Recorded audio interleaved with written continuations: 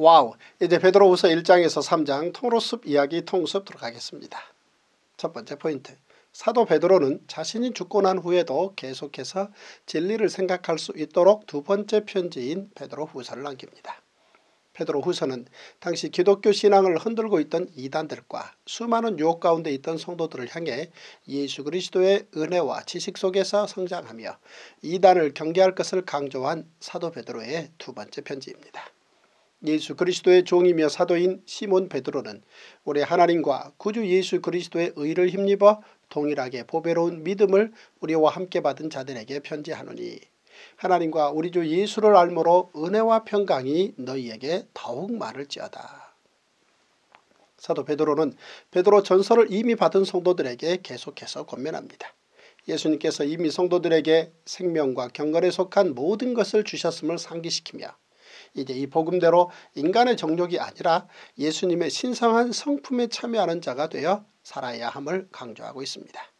그의 신기한 능력으로 생명과 경건에 속한 모든 것을 우리에게 주셨으니 이는 자기의 영광과 덕으로서 우리를 부르신 일을 알므로 말미암음이라. 이로써 그 보배롭고 지극히 큰 약속을 우리에게 주사 이 약속으로 말미암아 너희가 정욕 때문에 세상에서 썩어질 것을 피하여 신성한 성품에 참여하는 자가 되게 하려 하셨느니라. 베드로는 이를 위해 성도들이 가져야 할 그리스도인의 성품이 무엇인지 가르쳐줍니다. 그러므로 너희가 더욱 힘써 너희 믿음의 덕을 덕의 지식을 지식의 절제를 절제의 인내를 인내의 경거를 경건의 형제 우애를 형제 우애의 사랑을 더하라. 이처럼 믿음, 덕, 지식, 절제, 인내, 경건, 형제 우애, 사랑이 없으면 옛 죄가 씻긴 것을 모르는 맹인이 되어 멀리 보지 못한다는 것입니다. 이런 것이 너희에게 있어 흡족한 즉 너희로 우리 주 예수 그리스도를 알기에 게으르지 않고 열매 없는 자가 되지 않게 하려니와 이런 것이 없는 자는 맹인이라 멀리 보지 못하고 그의 옛 죄가 깨끗하게 된 것을 잊었느니라. 사도 베드로는 그러므로 성도들에게 실족하지 않도록 부르심과 택하심을 굳게 하여 하나님 나라의 백성이 되자고 권면합니다. 그러므로 형제들아 더욱 힘써 너희 부르심과 택하심을 굳게 하라. 너희가 이것을 행한 즉 언제든지 실족하지 아니하리라. 이같이 하면 우리 주 곧 구주 예수 그리스도의 영원한 나라에 들어감을 넉넉히 너희에게 주시리라. 사도 베드로는 성도들을 향한 권면에 이어 자신이 베드로 전서와 후서를 쓴 이유 두 가지를 밝힙니다.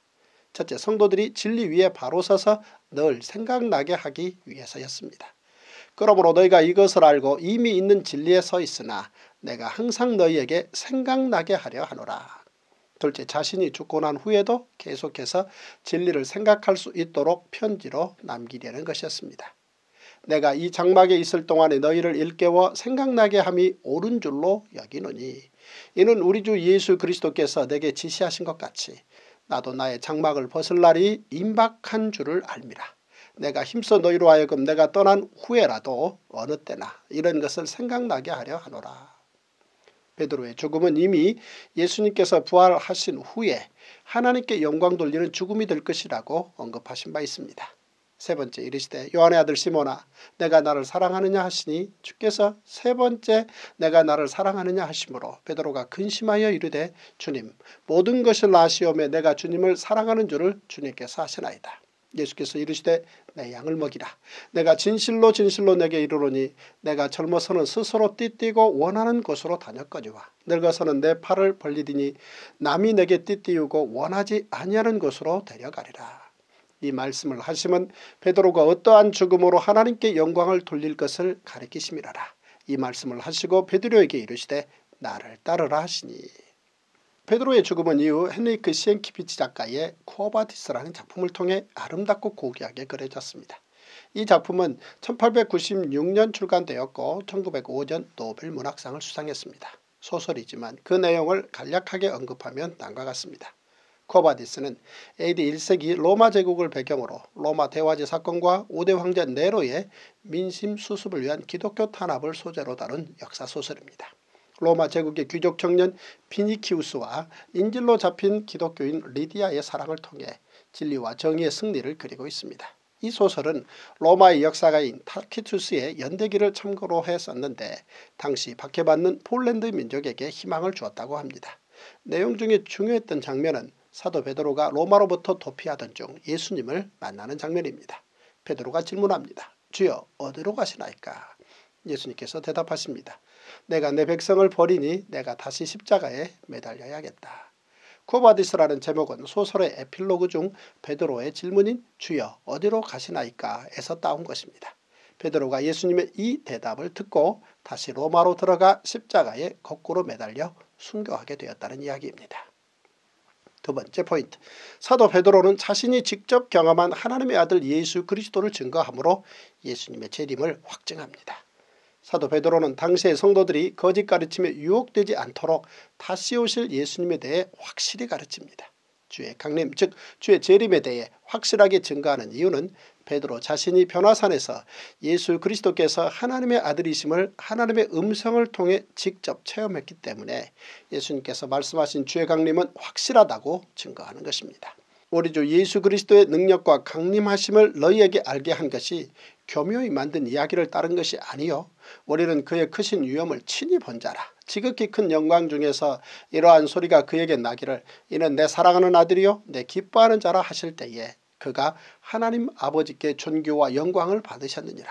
이 소리는 우리가 그와 함께 거룩한 산에 있을 때에 하늘로부터 난 것을 들은 것이라. 그때 인자의 징조가 하늘에서 보이겠고 그때 땅의 모든 족속들이 통곡하며 그들이 인자가 구름을 타고 능력과 큰 영광으로 오는 것을 보리라. 그가 큰 나팔소리와 함께 천사들을 보내리니 그들이 그의 택하신 자들을 하늘 이끝에서 저 끝까지 사방에서 모으리라.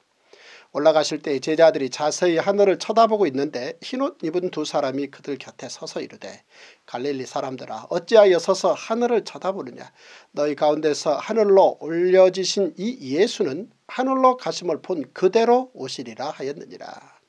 사도 베드로는 구약 성경의 예언들을 통해서도 예수 그리스도의 재림이 확실하다고 증거합니다.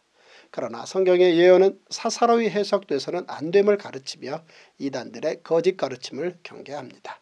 또 우리에게는 더 확실한 예언이 있어 어두운 데를 비추는 등불과 같으니 날이 새어 샛별이 너희 마음에 떠오르기까지 너희가 이것을 주의하는 것이 옳으니라. 먼저 알 것은 성경의 모든 예언은 사사로이 풀 것이 아니니 예언은 언제든지 사람의 뜻으로 낸 것이 아니요 오직 성령의 감동하심을 받은 사람들이 하나님께 받아 말한 것입니다. 당시 사도 베드로는 자신의 생명이 얼마 남지 않았다는 사실을 직감적으로 깨닫고 있었습니다. 그래서 자신이 두고 떠나야 하는 교회의 성도들에게 예수 그리스도를 믿는 믿음 안에서 흔들리지 말라고 권면합니다. 왜냐하면 자신이 전한 예수 그리스도의 복음은 어느 뛰어난 상상력을 소유한 인간이 만들어낸 허구가 아니기 때문입니다. 예수님과 함께 변화산에 올랐을 때 하늘에서 이는 내 사랑하는 아들이요 내 기뻐하는 자라는 하나님의 음성을 들었던 사건은 오랜 시간이 흘렀음에도 사도 베드로에게 생생하게 남아있었습니다. 그러니 사도 베드로에게는 예수 그리스도의 삶과 예수 그리스도의 능력이 어떤 누군가가 교묘히 만든 이야기일 수가 없는 것입니다. 사도 베드로는 예수님과 3년 이상 동행했던 예수님의 제자입니다. 그랬던 그가 고백하는 내용인즉 구약의 예언들이 예수님을 통해 성취되었다는 것입니다. 사도 베드로는 실제 예수님의 자취와 구약에서 말한 예언의 내용이 너무나 가깝다는 사실을 깨닫고 그 사실을 확신하게 된 것입니다. 때문에 사도 베드로는 담대하게 예수 그리스도를 증거하며 예수 그리스도의 재림을 증거했던 것입니다. 세 번째 포인트 사도 베드로는 하나님께 반드시 심판받을 거짓 선생들에 대해서 엄히 경고합니다. 사도 베드로는 당시 성행했던 거짓 선생들의 가르침 즉 이단에 대해 엄히 경계하며 경고합니다. 그러나 백성 가운데 또한 거짓 선지자들이 일어났었나니 이와 같이 너희 중에도 거짓 선생들이 있으리라. 그들은 멸망하게 할 이단을 가만히 끌어들여 자기들을 사신 주를 부인하고 임박한 멸망을 스스로 취하는 자들이라. 여럿이 그들의 호색하는 것을 따르리니 이로 말미암아 진리의 도가 비방을 받을 것이요 그들이 탐심으로써 지어낸 말을 가지고 너희로 이득을 삼으니 그들의 심판은 옛적부터 지체하지 아니하며 그들의 멸망은 잠들지 아니하느니라. 사도 베드로가 밝힌 이단들의 정체를 다시 정리하면 다음과 같습니다. 첫째, 교회에 들어와 성도들과 함께 숨어 활동하다가 이단들을 가만히 끌어들입니다. 둘째, 주를 부인하여 스스로 멸망하는 자들입니다. 셋째 호색하며 탐심으로 성도들을 미혹해 이익을 취하는 자들로 성도들을 돈 벌어주는 수단으로 삼습니다. 사도 베드로는 이러한 이단들은 반드시 하나님께서 심판하신다며 성경을 통해 증거들을 말합니다. 첫째 하나님께서 범죄한 천사들을 지옥으로 쫓아 심판하신 것이 증거입니다. 하나님이 범죄한 천사들을 용서하지 아니하시고 지옥에 던져 어두운 구덩이에 두어 심판 때까지 지키게 하셨으며 둘째 노아 때의 홍수 심판이 증거입니다. 옛 세상을 용서하지 아니하시고 오직 의를 전파하는 노아와 그 일곱 식구를 보존하시고 경건하지 아니한 자들의 세상에 홍수를 내리셨으며 셋째 소돔과 고모라 심판이 증거입니다. 소돔과 고모라 성을 멸망하기로 정하여 죄가 되게 하사 후세에 경건하지 아니할 자들에게 본을 삼으셨으며 무법한 자들의 음란한 행실로 말미암아 고통당하는 의로운 롯을 건지셨으니 그러므로 불의한 자는 하나님께서 반드시 심판하신다는 것입니다. 사도 베드로는 하나님께 심판받을 거짓 선생들 즉 이단이 어떤 자들인지에 대해 다시 한번 다음과 같이 가르쳐줍니다. 첫째 당돌하고 자긍하며 영광 있는 자들을 비방하는 자들입니다. 특별히 육체를 따라 더러운 정력 가운데서 행하며 주관하는 일을 멸시하는 자들에게는 형벌할 줄 아시느니라. 이들은 당돌하고 자긍하며 떨지 않고 영광 있는 자들을 비방하거니와 더 큰 힘과 능력을 가진 천사들도 주 앞에서 그들을 거슬러 비방하는 고발을 하지 아니하느니라. 둘째 불의의 값으로 속이고 즐기고 노는 자들입니다. 불의 값으로 불의를 당하며 낮에 즐기고 노는 것을 기쁘게 여기는 자들이니 점과 흠이라. 너희와 함께 연회할 때에 그들의 속임수로 즐기고 놀며. 셋째 음심이 가득하여 영혼들을 유혹하는 자들입니다. 음심이 가득한 눈을 가지고 범죄하기를 그치지 아니하고 굳세지 못한 영혼들을 유혹하며 탐욕에 연단된 마음을 가진 자들이니 저주의 자식이라. 넷째 불의 삭을 사랑하여 불법을 저지르는 자들입니다. 그들이 바른 길을 떠나 미혹되어 부올의 아들 발람의 길을 따르는도다. 그는 불의의 삭을 사랑하다가 자기의 불법으로 말미암아 책망을 받되 말하지 못하는 나귀가 사람의 소리로 말하여 이 선지자의 미친 행동을 저지하였느니라. 다섯째 허탄한 과거의 잘못을 버리고 새 사람이 된 사람을 육체의 종력으로 유혹하는 멸망의 종들입니다. 이 사람들은 물 없는 샘이여 광풍에 밀려가는 안개니 그들을 위하여 캄캄한 어둠이 예비되어 있나니 그들이 허탄한 자랑의 말을 토하며 그릇되게 행하는 사람들에게서 겨우 피한 자들을 음란으로서 육체의 정욕 중에서 유혹하는도다. 그들에게 자유를 준다 하여도 자신들은 멸망의 종들이니 누구든지 진자는 이긴 자의 종이 됨이라. 따라서 사도 베드로는 거짓 선생들에게 얽매여 믿음을 배교하면 이후에 더 비참해질 것이라고 경고합니다. 만일 그들이 우리 주 대신 구주 예수 그리스도를 알므로 세상의 더러움을 피한 후에 다시 그 중에 얽매이고 지면 그 나중 형편이 처음보다 더 심하리니 의의 도를 안 후에 받은 거룩한 명령을 저버리는 것보다 알지 못하는 것이 도리어 그들에게 나으리라. 참된 속담에 이르기를 개가 그 토하였던 것에 돌아가고 돼지가 씻었다가 더러운 구덩이에 도로 누웠다 하는 말이 그들에게 응하였도다. 이는 구약성경 잠언의 말씀을 인용한 것입니다. 개가 그 토한 것을 도로 먹는 것 같이 미련한 자는 그 미련한 것을 거듭 행하느니라. 자신의 죄로부터 잠시 돌이켰다가 다시 그 죄악 가운데 빠져드는 자들은 마치 토한 것을 다시 먹는 개나 몸을 씻고는 더러운 구덩이에 다시 눕는 돼지와 같다는 것입니다. 사도 베드로는 당시 이단에 빠져 믿음이 흔들리고 있던 성도들에게 어떤 유혹에도 흔들리지 않는 그리스도인이 되라고 교훈하고 있는 것입니다. 그래서 이단에게 빠지지 않도록 예수 그리스도의 사역이 분명한 하나님의 역사라는 사실을 계속 강조하고 있습니다. 교회 안에 가만히 들어온 불의한 거짓 교사들의 가르침을 이길 수 있는 힘은 바로 성경뿐입니다. 네 번째 포인트 사도 베드로는 주의 재림에 대해서 다시 한번 가르칩니다. 당시 이단들의 거짓 주장은 다음과 같았습니다. 먼저 이것을 알지니 말세에 조롱하는 자들이 와서 자기의 정욕을 따라 행하며 조롱하여 이르되 주께서 강림하신다는 약속이 어디 있느냐 조상들이 잔 후로부터 만물이 처음 창조될 때와 같이 그냥 있다 하니 이러한 이단들의 주장에 대해 사도 베드로는 하나님께서 말씀으로 세상을 창조하셨듯이 예수님께서 다시 오신다고 하신 말씀을 잊지 말라고 말합니다. 이는 하늘이 옛적부터 있는 것과 땅이 물에서 나와 물로 성립된 것도 하나님의 말씀으로 된 것을 그들이 일부러 잊으려 함이로다. 사도 베드로는 주의 강림 즉 예수님의 재림은 반드시 있을 것이라고 강조합니다. 이런 이단들의 거짓 가르침을 정면으로 반박하며 진리를 드러내는 선언입니다. 이에 사도 베드로는 노아 홍수 사건을 기억하라고 말합니다. 이로 말미암아 그때의 세상은 물이 넘침으로 멸망하였으되 이제 하늘과 땅은 그 동일한 말씀으로 불사르기 위하여 보호하신 바 되어 경건하지 아니한 사람들의 심판과 멸망의 날까지 보존하여 두신 것이니라. 창조 이후 하늘과 땅이 변함없듯 세상 멸망은 없을 것이라고 말하는 이단들의 주장에 대해 사도 베드로는 창조 이후 하늘과 땅이 지금까지 보존되고 있지만 이는 심판과 멸망의 날이 되면 없어질 것이라고 말합니다. 사도 베드로는 예수 그리스도의 재림이 늦어지고 있는 이유를 다음과 같이 가르쳐줍니다. 첫째 하나님의 시간은 인간의 시간과 다르기 때문입니다. 사랑하는 자들아 주께는 하루가 천년 같고 천년이 하루 같다는 이 한 가지를 잊지 말라. 주의 목전에는 천년이 지나간 어제 같으며 밤의 한순간 같을 뿐임이니이다. 둘째 하나님께서는 다 회개하기를 기다리시며 오래 참고 계시기 때문입니다. 주의 약속은 어떤 이들이 더디다고 생각하는 것 같이 더딘 것이 아니라 오직 주께서는 너희를 대하여 오래 참으사 아무도 멸망하지 아니하고 다 회개하기에 이르기를 원하시느니라. 일찍이 말씀하신 하나님의 성품은 우리가 회개하며 돌아오기를 기다리시는 극률의 하나님이셨습니다. 여호와께서 그의 앞으로 지나시며 선포하시되 여호와라 여호와라 자비롭고 은혜롭고 노하기를 더디하고 인자와 진실이 많은 하나님이라. 셋째 재림 때는 누구도 알 수 없고 도둑같이 올 것입니다. 그러나 주의 날이 도둑같이 오리니 그날에는 하늘이 큰 소리로 떠나가고 물질이 뜨거운 불에 풀어지고 땅과 그 중에 있는 모든 일이 드러나리로다. 너희도 아는 바니 만일 집주인이 도둑이 어느 시각에 올 줄을 알았더라면 깨어있어 그 집을 뚫지 못하게 하였으리라. 이러므로 너희도 준비하고 있으라 생각하지 않은 때에 인자가 오리라.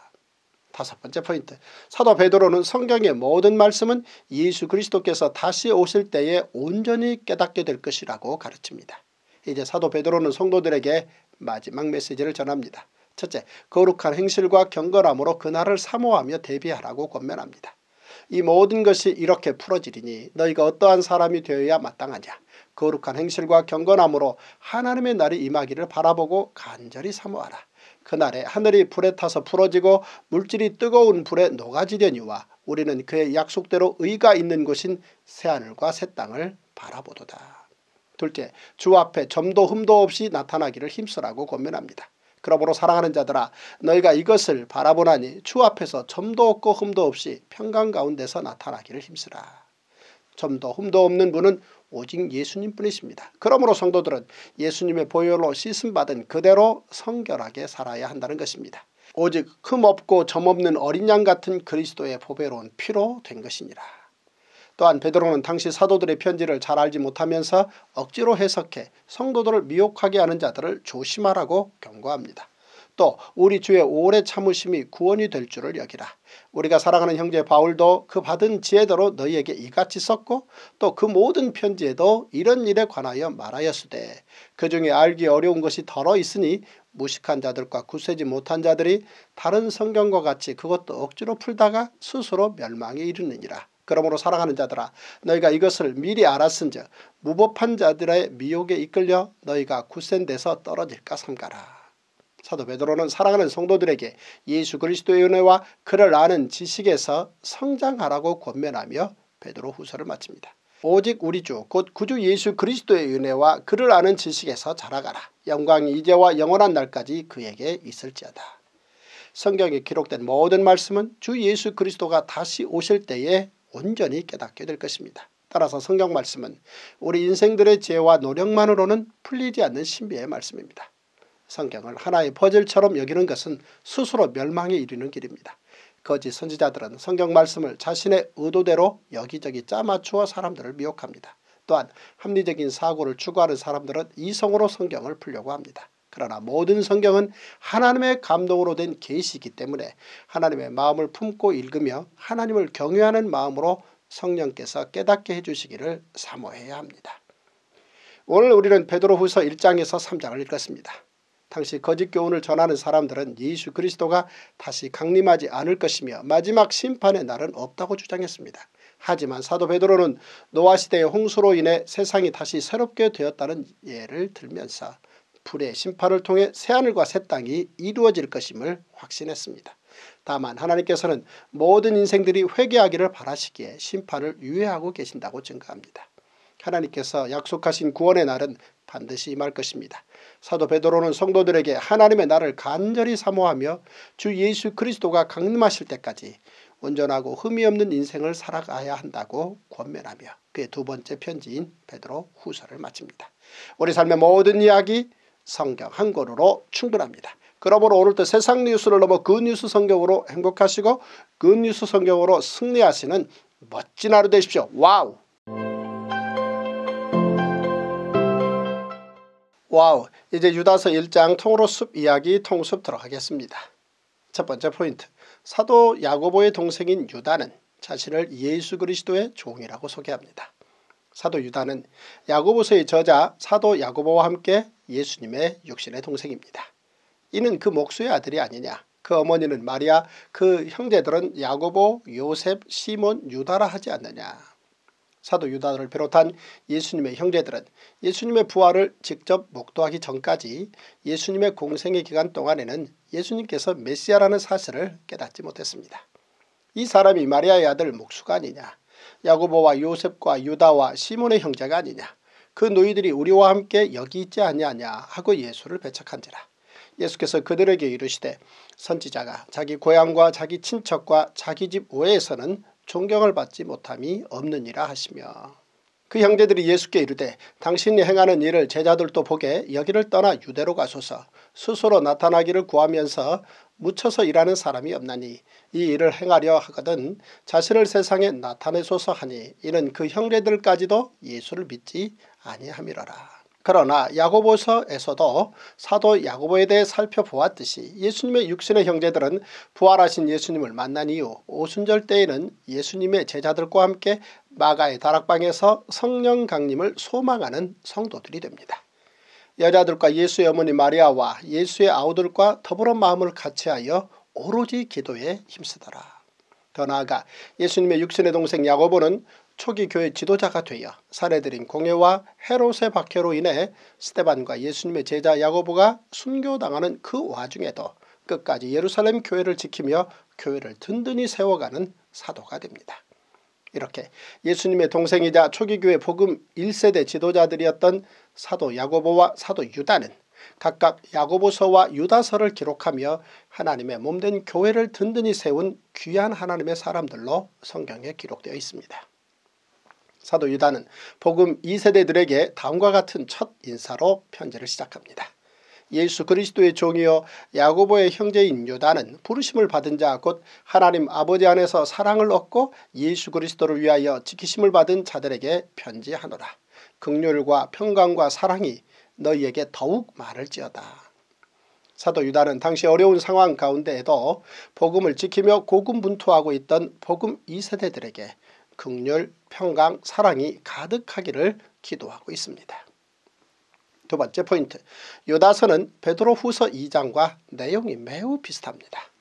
사도 유다는 첫 인사에 이어 유다서를 쓴 이유를 다음과 같이 밝힙니다.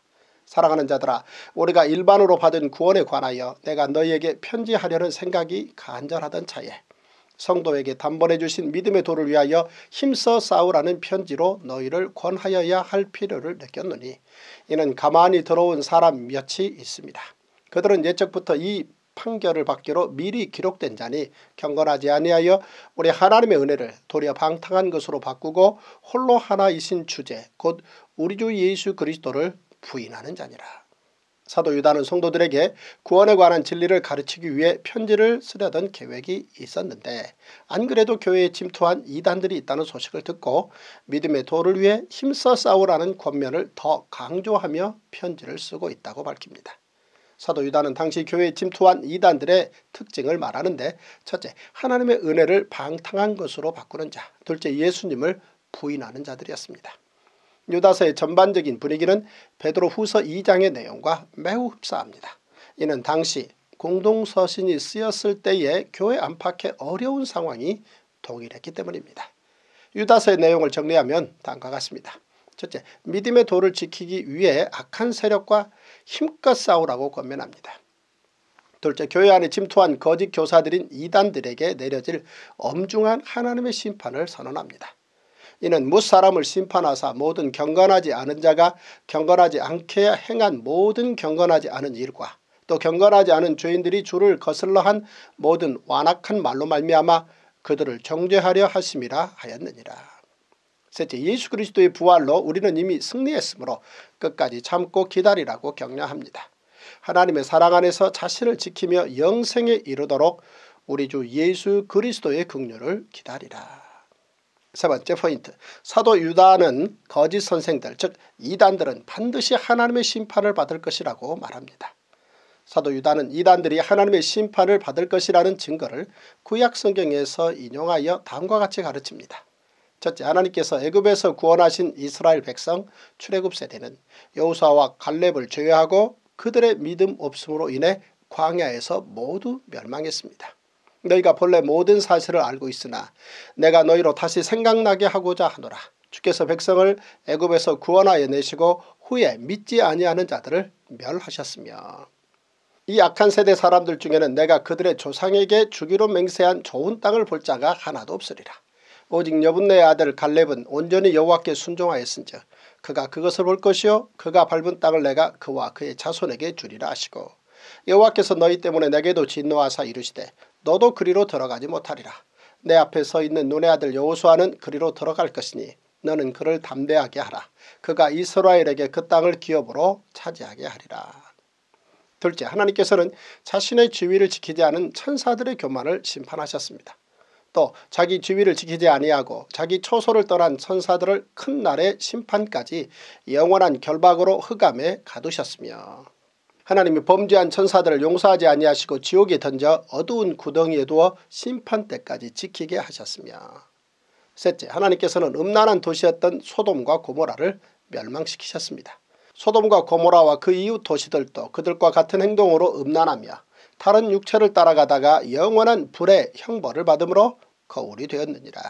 네 번째 포인트 사도 유다는 구약 성경의 가인, 발람 그리고 고라의 폐역을 예로 들며 이단들의 잘못을 지적합니다. 사도 이단은 거짓 선생들 즉 이단들의 죄악을 밝힙니다. 그러한데 꿈꾸는 이 사람들도 그와 같이 육체를 더럽히며 권위를 업신여기며 영광을 비방하는도다. 사도 유다는 이단들이 꿈꾸듯 허황된 것을 말하며 성도들을 미혹하게 하므로 하나님의 심판을 면할 수 없다고 선언합니다. 또한 이단들은 멸망한 소돔과 고모라처럼 육체를 더럽히고 출애굽 세대처럼 불순종하여 하나님의 권위를 업신여기며 자신들의 지위를 지키지 않은 천사처럼 하나님의 영광을 비방하므로 하나님의 심판을 받게 될 것이라고 분명하게 경고합니다.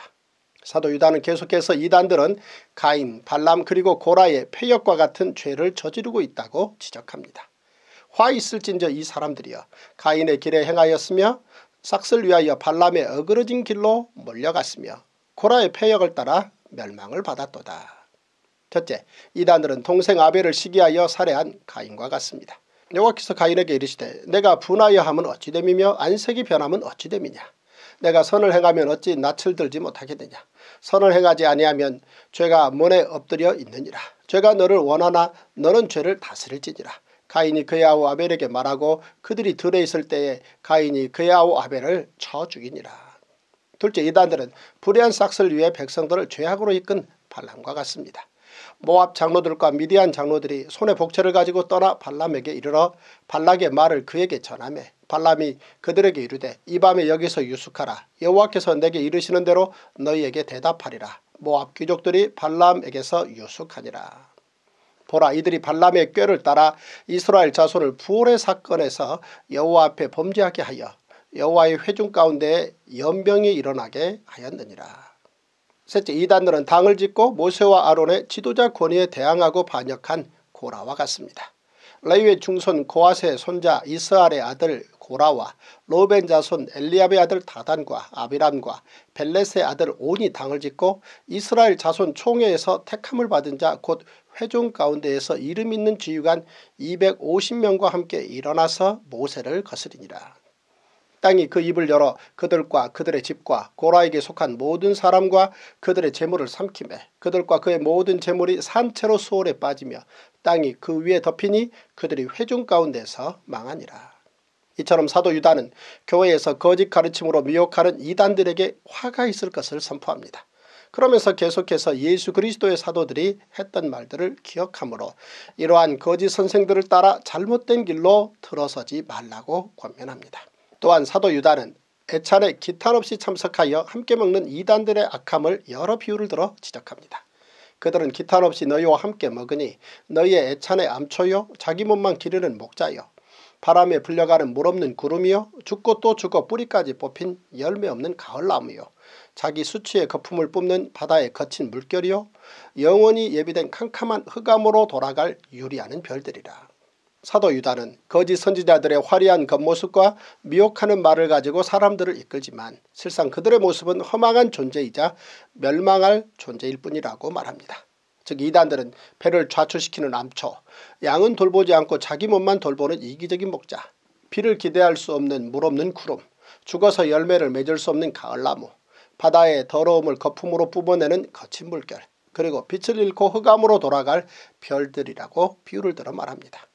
사도 유다는 그러므로 이단들의 심판은 확실히 이루어질 것이라고 선언합니다. 다섯 번째 포인트 사도 유다는 이단에게 미혹된 자들을 극률히 여기며 바른 길로 인도하라고 가르칩니다. 사도 유다는 이단들로부터 자신을 지킬 수 있도록 다음과 같은 일을 실천하라고 먼저 권면합니다.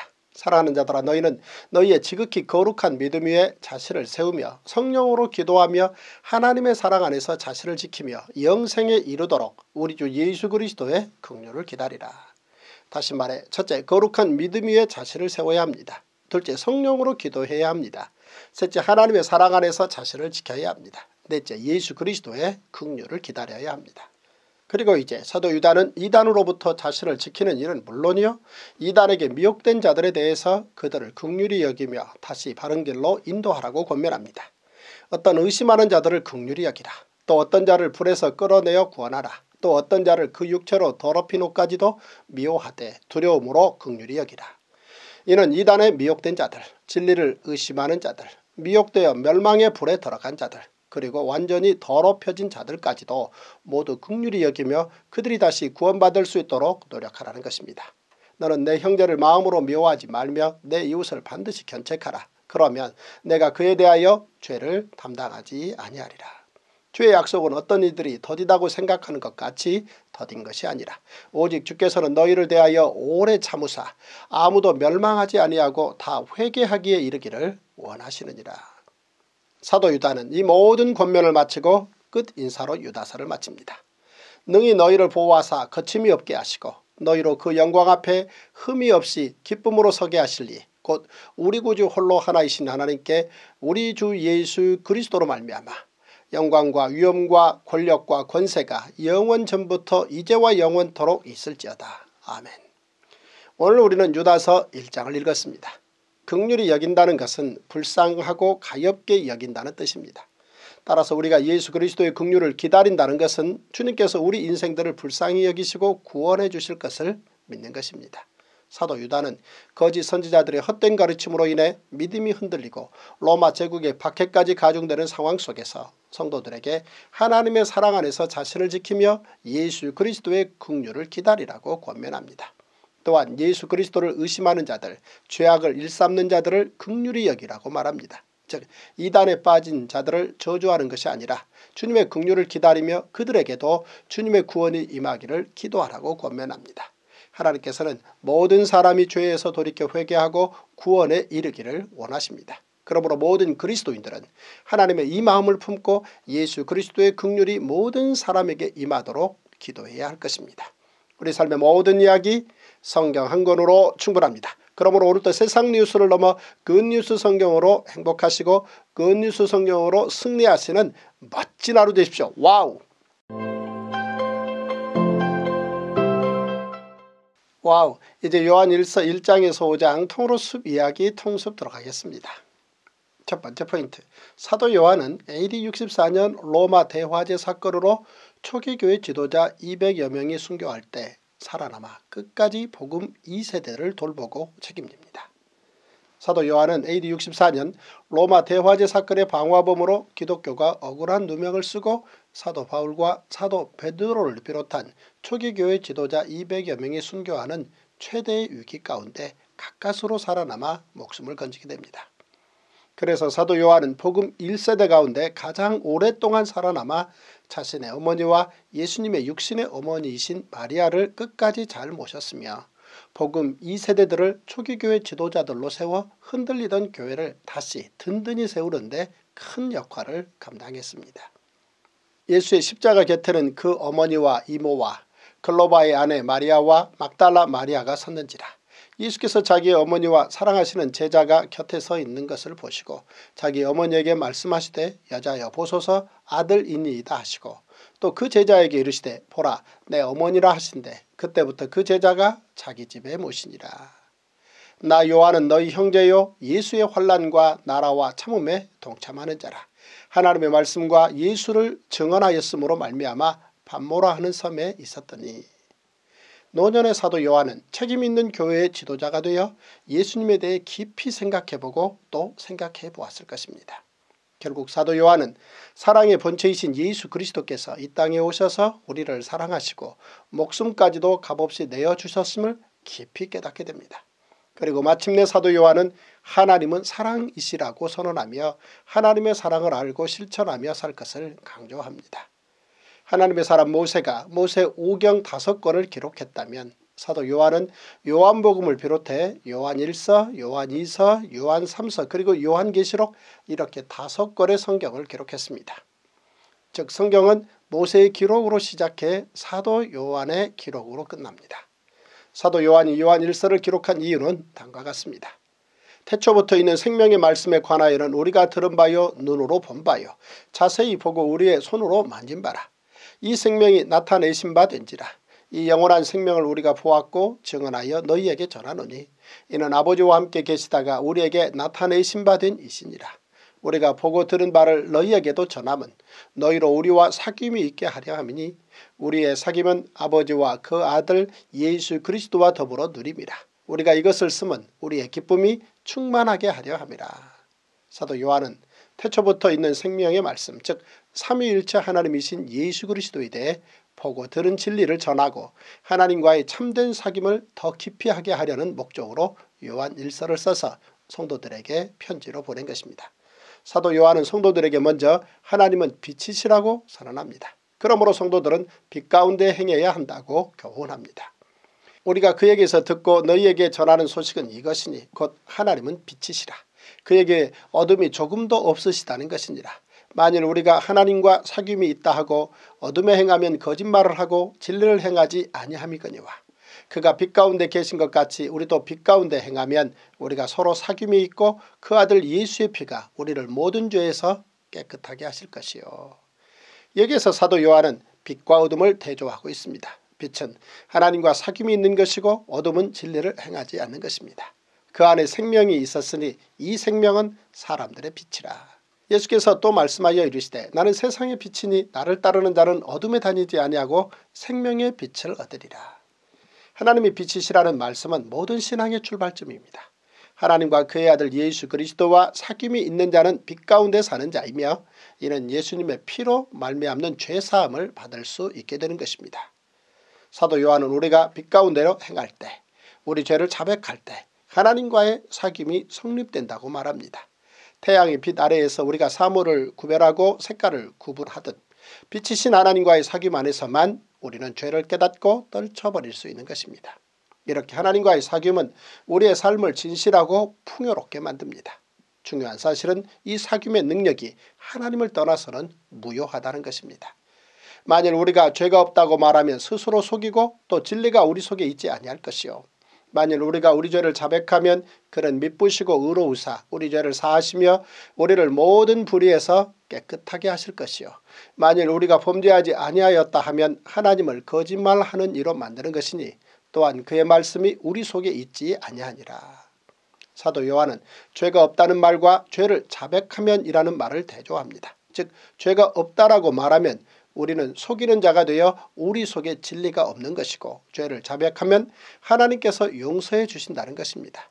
그러므로 우리가 하나님 앞에 우리의 죄를 자백하고 하나님의 말씀 안에서 살아간다면 우리는 하나님과 깊고 진한 사귐을 이어갈 수 있습니다. 두 번째 포인트 사도 요한은 복음 2세대들에게 아버지의 심정으로 편지를 썼습니다. 사도 요한은 예수님의 열두 제자 중 가장 나이가 어린 제자였으나 로마 대화제 사건 이후부터는 교회에 책임있는 어른이자 지도자로 복음 2세대들에게 아버지와 같은 존재가 됩니다. 사도 요한은 이제 복음 2세대들에게 예수 그리스도의 복음을 더 정확하게 잘 전달해야 했습니다. 그래서 사도 요한은 요한 일서를 기록하면서 아버지의 마음으로 자신이 이 편지를 왜 쓰는지 다시 한번 그 이유를 밝힙니다. 나의 자녀들아 내가 이것을 너희에게 쓰면 너희로 죄를 범하지 않게 하려 함이라. 만일 누가 죄를 범하여도 아버지 앞에서 우리에게 대언자가 있으니 곧 의로우신 예수 그리스도시라. 그는 우리 죄를 위한 화목제물이니 우리만 위할 뿐 아니요 온 세상의 죄를 위하심이라. 당시에 나이가 많았던 사도 요한은 복음 2세대들에게 아버지의 심정으로 나의 자녀들아 라고 부르며 그들이 죄를 범하지 않고 만약 그들이 죄를 범했을지라도 대언자이신 예수 그리스도를 통해 용서를 받게 하기 위함이라고 말합니다. 계속해서 사도 요한은 하나님과의 사귐을 위한 권면을 다음과 같이 말합니다. 첫째, 계명을 지키라고 권면합니다.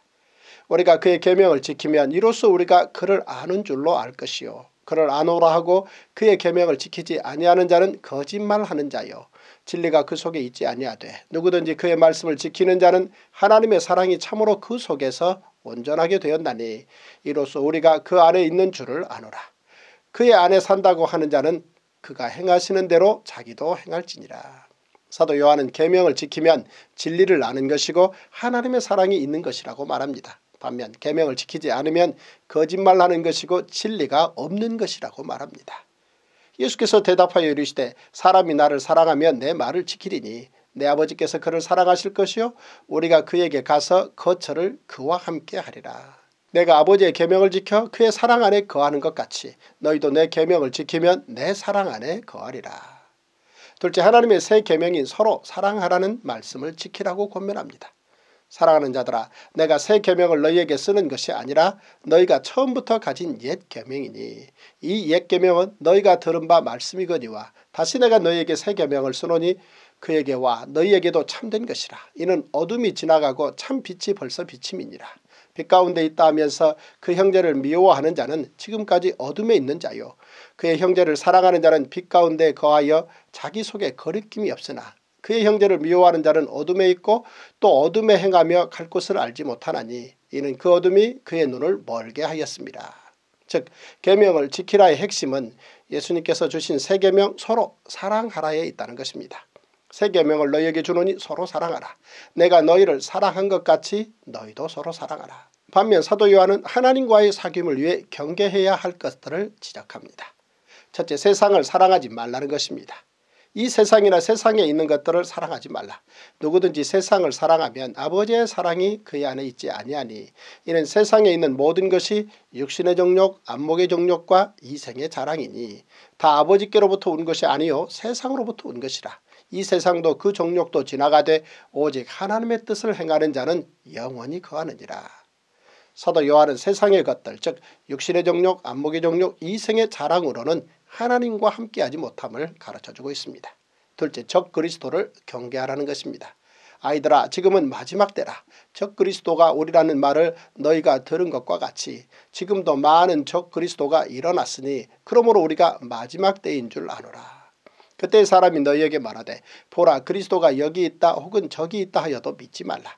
거짓 그리스도들과 거짓 선지자들이 일어나 큰 표적과 기사를 보여 할 수만 있으면 택하신 자들도 미혹하리라. 사도 요한은 적 그리스도에 대해 다음과 같이 상세히 가르쳐줍니다.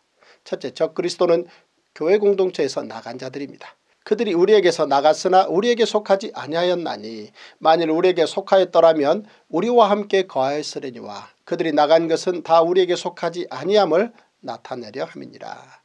그들은 교회에 가만히 들어왔다가 쫓겨난 자들입니다. 그러나 백성 가운데 또한 거짓 선지자들이 일어났었나니 이와 같이 너희 중에도 거짓 선생들이 있으리라. 그들은 멸망하게 할 이단을 가만히 끌어들여 자기들을 사신주를 부인하고 임박한 멸망을 스스로 취하는 자들이라. 둘째 적그리스도는 예수님을 부인하는 자입니다.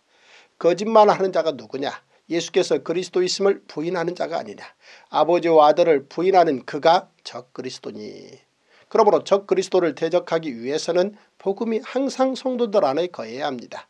복음이 성도들 안에 있다는 것은 곧 하나님과 예수 그리스도 안에 성도들이 있다는 것입니다. 너희는 처음부터 들은 것을 너희 안에 거하게 하라. 처음부터 들은 것이 너희 안에 거하면 너희가 아들과 아버지 안에 거하리라. 그가 우리에게 약속하신 것은 이것이니 곧 영원한 생명이니라. 자녀들아 이제 그의 안에 거하라. 이는 주께서 나타나신 바 되면 그가 강림하실 때에 우리로 담대함을 얻어 그 앞에서 부끄럽지 않게 하려 함이라. 너희가 그가 의로우신 줄을 알면 의를 행하는 자마다 그에게서 난 줄을 알리라. 그리스도인들은 빛 가운데 사는 성도들입니다. 사도 요한은 성도가 마땅히 빛 가운데서 살아가야 참된 그리스도인이라고 강조합니다. 이단들은 교회 공동체에 슬며시 들어와 그리스도인들과 함께 신앙생활을 하지만 예수님께서 하나님의 아들 되심을 부인하고 마지막 때에 적그리스도임을 드러내고 결국 미혹하는 자들입니다. 하지만 하나님 아버지 안에 거하고 하나님의 계명을 지킨다면 이단의 미혹에 넘어가지 않을 것입니다. 그리고 하나님의 뜻을 행하는 자는 영원히 주님 안에 거할 수 있습니다. 사도 요한은 편지에 자녀들아 아이들아 아비들아 청년들아로 지칭하며 아버지의 마음으로 복음 2세대들을 격려하며 따뜻하게 가르쳐주고 있습니다. 세 번째 포인트 주 안에서 형제를 사랑해야 하는 이유는 예수님의 사랑 때문이라고 사도 요한은 가르칩니다. 사도 요한은 성도들이 하나님의 자녀답게 살기를 바라며 하나님의 자녀는 어떠한 사람인지 가르쳐줍니다. 첫째 하나님의 자녀는 세상이 알지 못하는 사람입니다. 보라 아버지께서 어떠한 사랑을 우리에게 베푸사 하나님의 자녀라 일컬음을 받게 하셨는가. 우리가 그러하도다. 그러므로 세상이 우리를 알지 못함은 그를 알지 못함이라. 둘째 하나님의 자녀는 예수님께서 다시 오실 때 예수님과 함께 할 사람입니다. 사랑하는 자들아 우리가 지금은 하나님의 자녀라 장래에 어떻게 될지는 아직 나타나지 아니하였으나 그가 나타나시면 우리가 그와 같을 줄을 아는 것은 그의 참모습 그대로 볼 것이기 때문이니 셋째 하나님의 자녀는 범죄하지 않는 사람입니다. 그 안에 거하는 자마다 범죄하지 아니하나니 범죄하는 자마다 그를 보지도 못하였고 그를 알지도 못하였느니라. 하나님께로부터 난 자마다 죄를 짓지 아니하나니 이는 하나님의 씨가 그의 속에 거하며 그도 범죄하지 못하는 것은 하나님께로부터 났습니다. 넷째 하나님의 자녀는 서로 사랑하는 사람입니다. 이러므로 하나님의 자녀들과 마귀의 자녀들이 드러나나니 무릇 의를 행하지 아니하는 자나 또는 그 형제를 사랑하지 아니하는 자는 하나님께 속하지 아니하니라. 우리는 서로 사랑할지니 이는 너희가 처음부터 들은 소식이라. 사도 요한은 형제를 사랑하지 않은 자로 가인의 행동을 예로 듭니다. 가인같이 하지 말라. 그는 악한 자에게 속하여 그 아우를 죽였으니 어떤 이유로 죽였느냐. 자기의 행위는 악하고 그의 아우의 행위는 의로움이라. 사도 요한은 의를 행하는 자와 형제를 사랑하는 자가 모두 하나님께 속하였다고 말합니다. 즉 형제에 대한 사랑이 있으면 그는 하나님께 속하였고 하나님께 난 자이며 하나님의 씨가 그 안에 있다는 것입니다. 그러나 사랑이 없으면 하나님께 속한 자가 아닌 것입니다. 그러므로 하나님의 자녀로 반드시 행해야 할 일은 형제를 사랑하는 것입니다. 그리고 형제를 사랑해야 하는 이유는 바로 예수님의 사랑 때문입니다. 형제들아 세상이 너희를 미워하여도 이상히 여기지 말라. 우리는 형제를 사랑함으로 사망에서 옮겨 생명으로 들어간 줄을 알거니와 사랑하지 아니하는 자는 사망에 머물러 있느니라. 그 형제를 미워하는 자마다 살인하는 자니 살인하는 자마다 영생이 그 속에 거하지 아니하는 것을 너희가 아는 바라. 그가 우리를 위하여 목숨을 버리셨으니 우리가 이로써 사랑을 알고 우리도 형제들을 위하여 목숨을 버리는 것이 마땅하니라. 사도 요한은 형제를 사랑하되 말과 혀가 아닌 행함과 진실함으로 사랑하라고 말합니다. 누가 이 세상의 재물을 가지고 형제의 궁핍함을 보고도 도와줄 마음을 닫으면 하나님의 사랑이 어찌 그 속에 거하겠느냐. 자녀들아 우리가 말과 혀로만 살아가지 말고 행함과 진실함으로 하자. 이로써 우리가 진리에 속한 줄을 알고 또 우리 마음을 주 앞에서 굳세게 하리니 이는 우리 마음이 혹 우리를 책망할 일이 있어도 하나님은 우리 마음보다 크시고 모든 것을 아시기 때문이라. 계속해서 사도 요한은 형제를 사랑하면 무엇이든지 구하는 말을 하나님께 받을 것이라고 말합니다. 사랑하는 자들아 만일 우리 마음이 우리를 책망할 것이 없으면 하나님 앞에서 담대함을 얻고 무엇이든지 구하는 말을 그에게서 받나니 이는 우리가 그의 계명을 지키고 그 앞에서 기뻐하시는 것을 행함이라. 사도 요한의 이 자상한 가르침에는 하나님의 사랑이 전제되어 있습니다. 이미 하나님의 사랑을 받아 그 사랑에 거하는 자로서 사도 요한은 그 사랑에 근거한 올바른 성도의 삶에 대해 전하고 있는 것입니다. 앞서서 사도 요한은 예수님 안에 거하는 자가 계명을 지켜야 한다고 했는데 그 계명이 바로 사랑임을 분명하게 밝히고 있습니다. 예수님께서 화를 선언하신 바리새인이나 서기관들처럼 될 것인가 아니면 하나님의 자녀가 될 것인가는 바로 계명 사랑을 행하는가에 달려 있습니다. 사도 요한은 하나님의 자녀가 된 성도들에게 가난한 자들의 궁핍함을 채워주고 형제를 위해 목숨까지도 내어놓는 삶을 살아가라고 명합니다. 예수 그리스도의 이름을 믿고 그가 주신 계명대로 서로 사랑하는 것이 하나님을 기쁘시게 하는 삶이기 때문입니다. 그의 계명은 이것이니 곧 그 아들 예수 그리스도의 이름을 믿고 그가 우리에게 주신 계명대로 서로 사랑할 것이니라. 그의 계명을 지키는 자는 주 안에 거하고 주는 그 안에 거하시나니 우리에게 주신 성령으로 말미암아 그가 우리 안에 거하시는 줄을 우리가 아느니라. 예수께서 이르시되 내 마음을 다하고 목숨을 다하고 뜻을 다하여 주 너의 하나님을 사랑하라 하셨으니 이것이 크고 첫째 되는 계명이요 둘째도 그와 같으니 내 이웃을 내 자신같이 사랑하라 하셨으니 이 두 계명이 온 율법과 선지자의 강령이니라.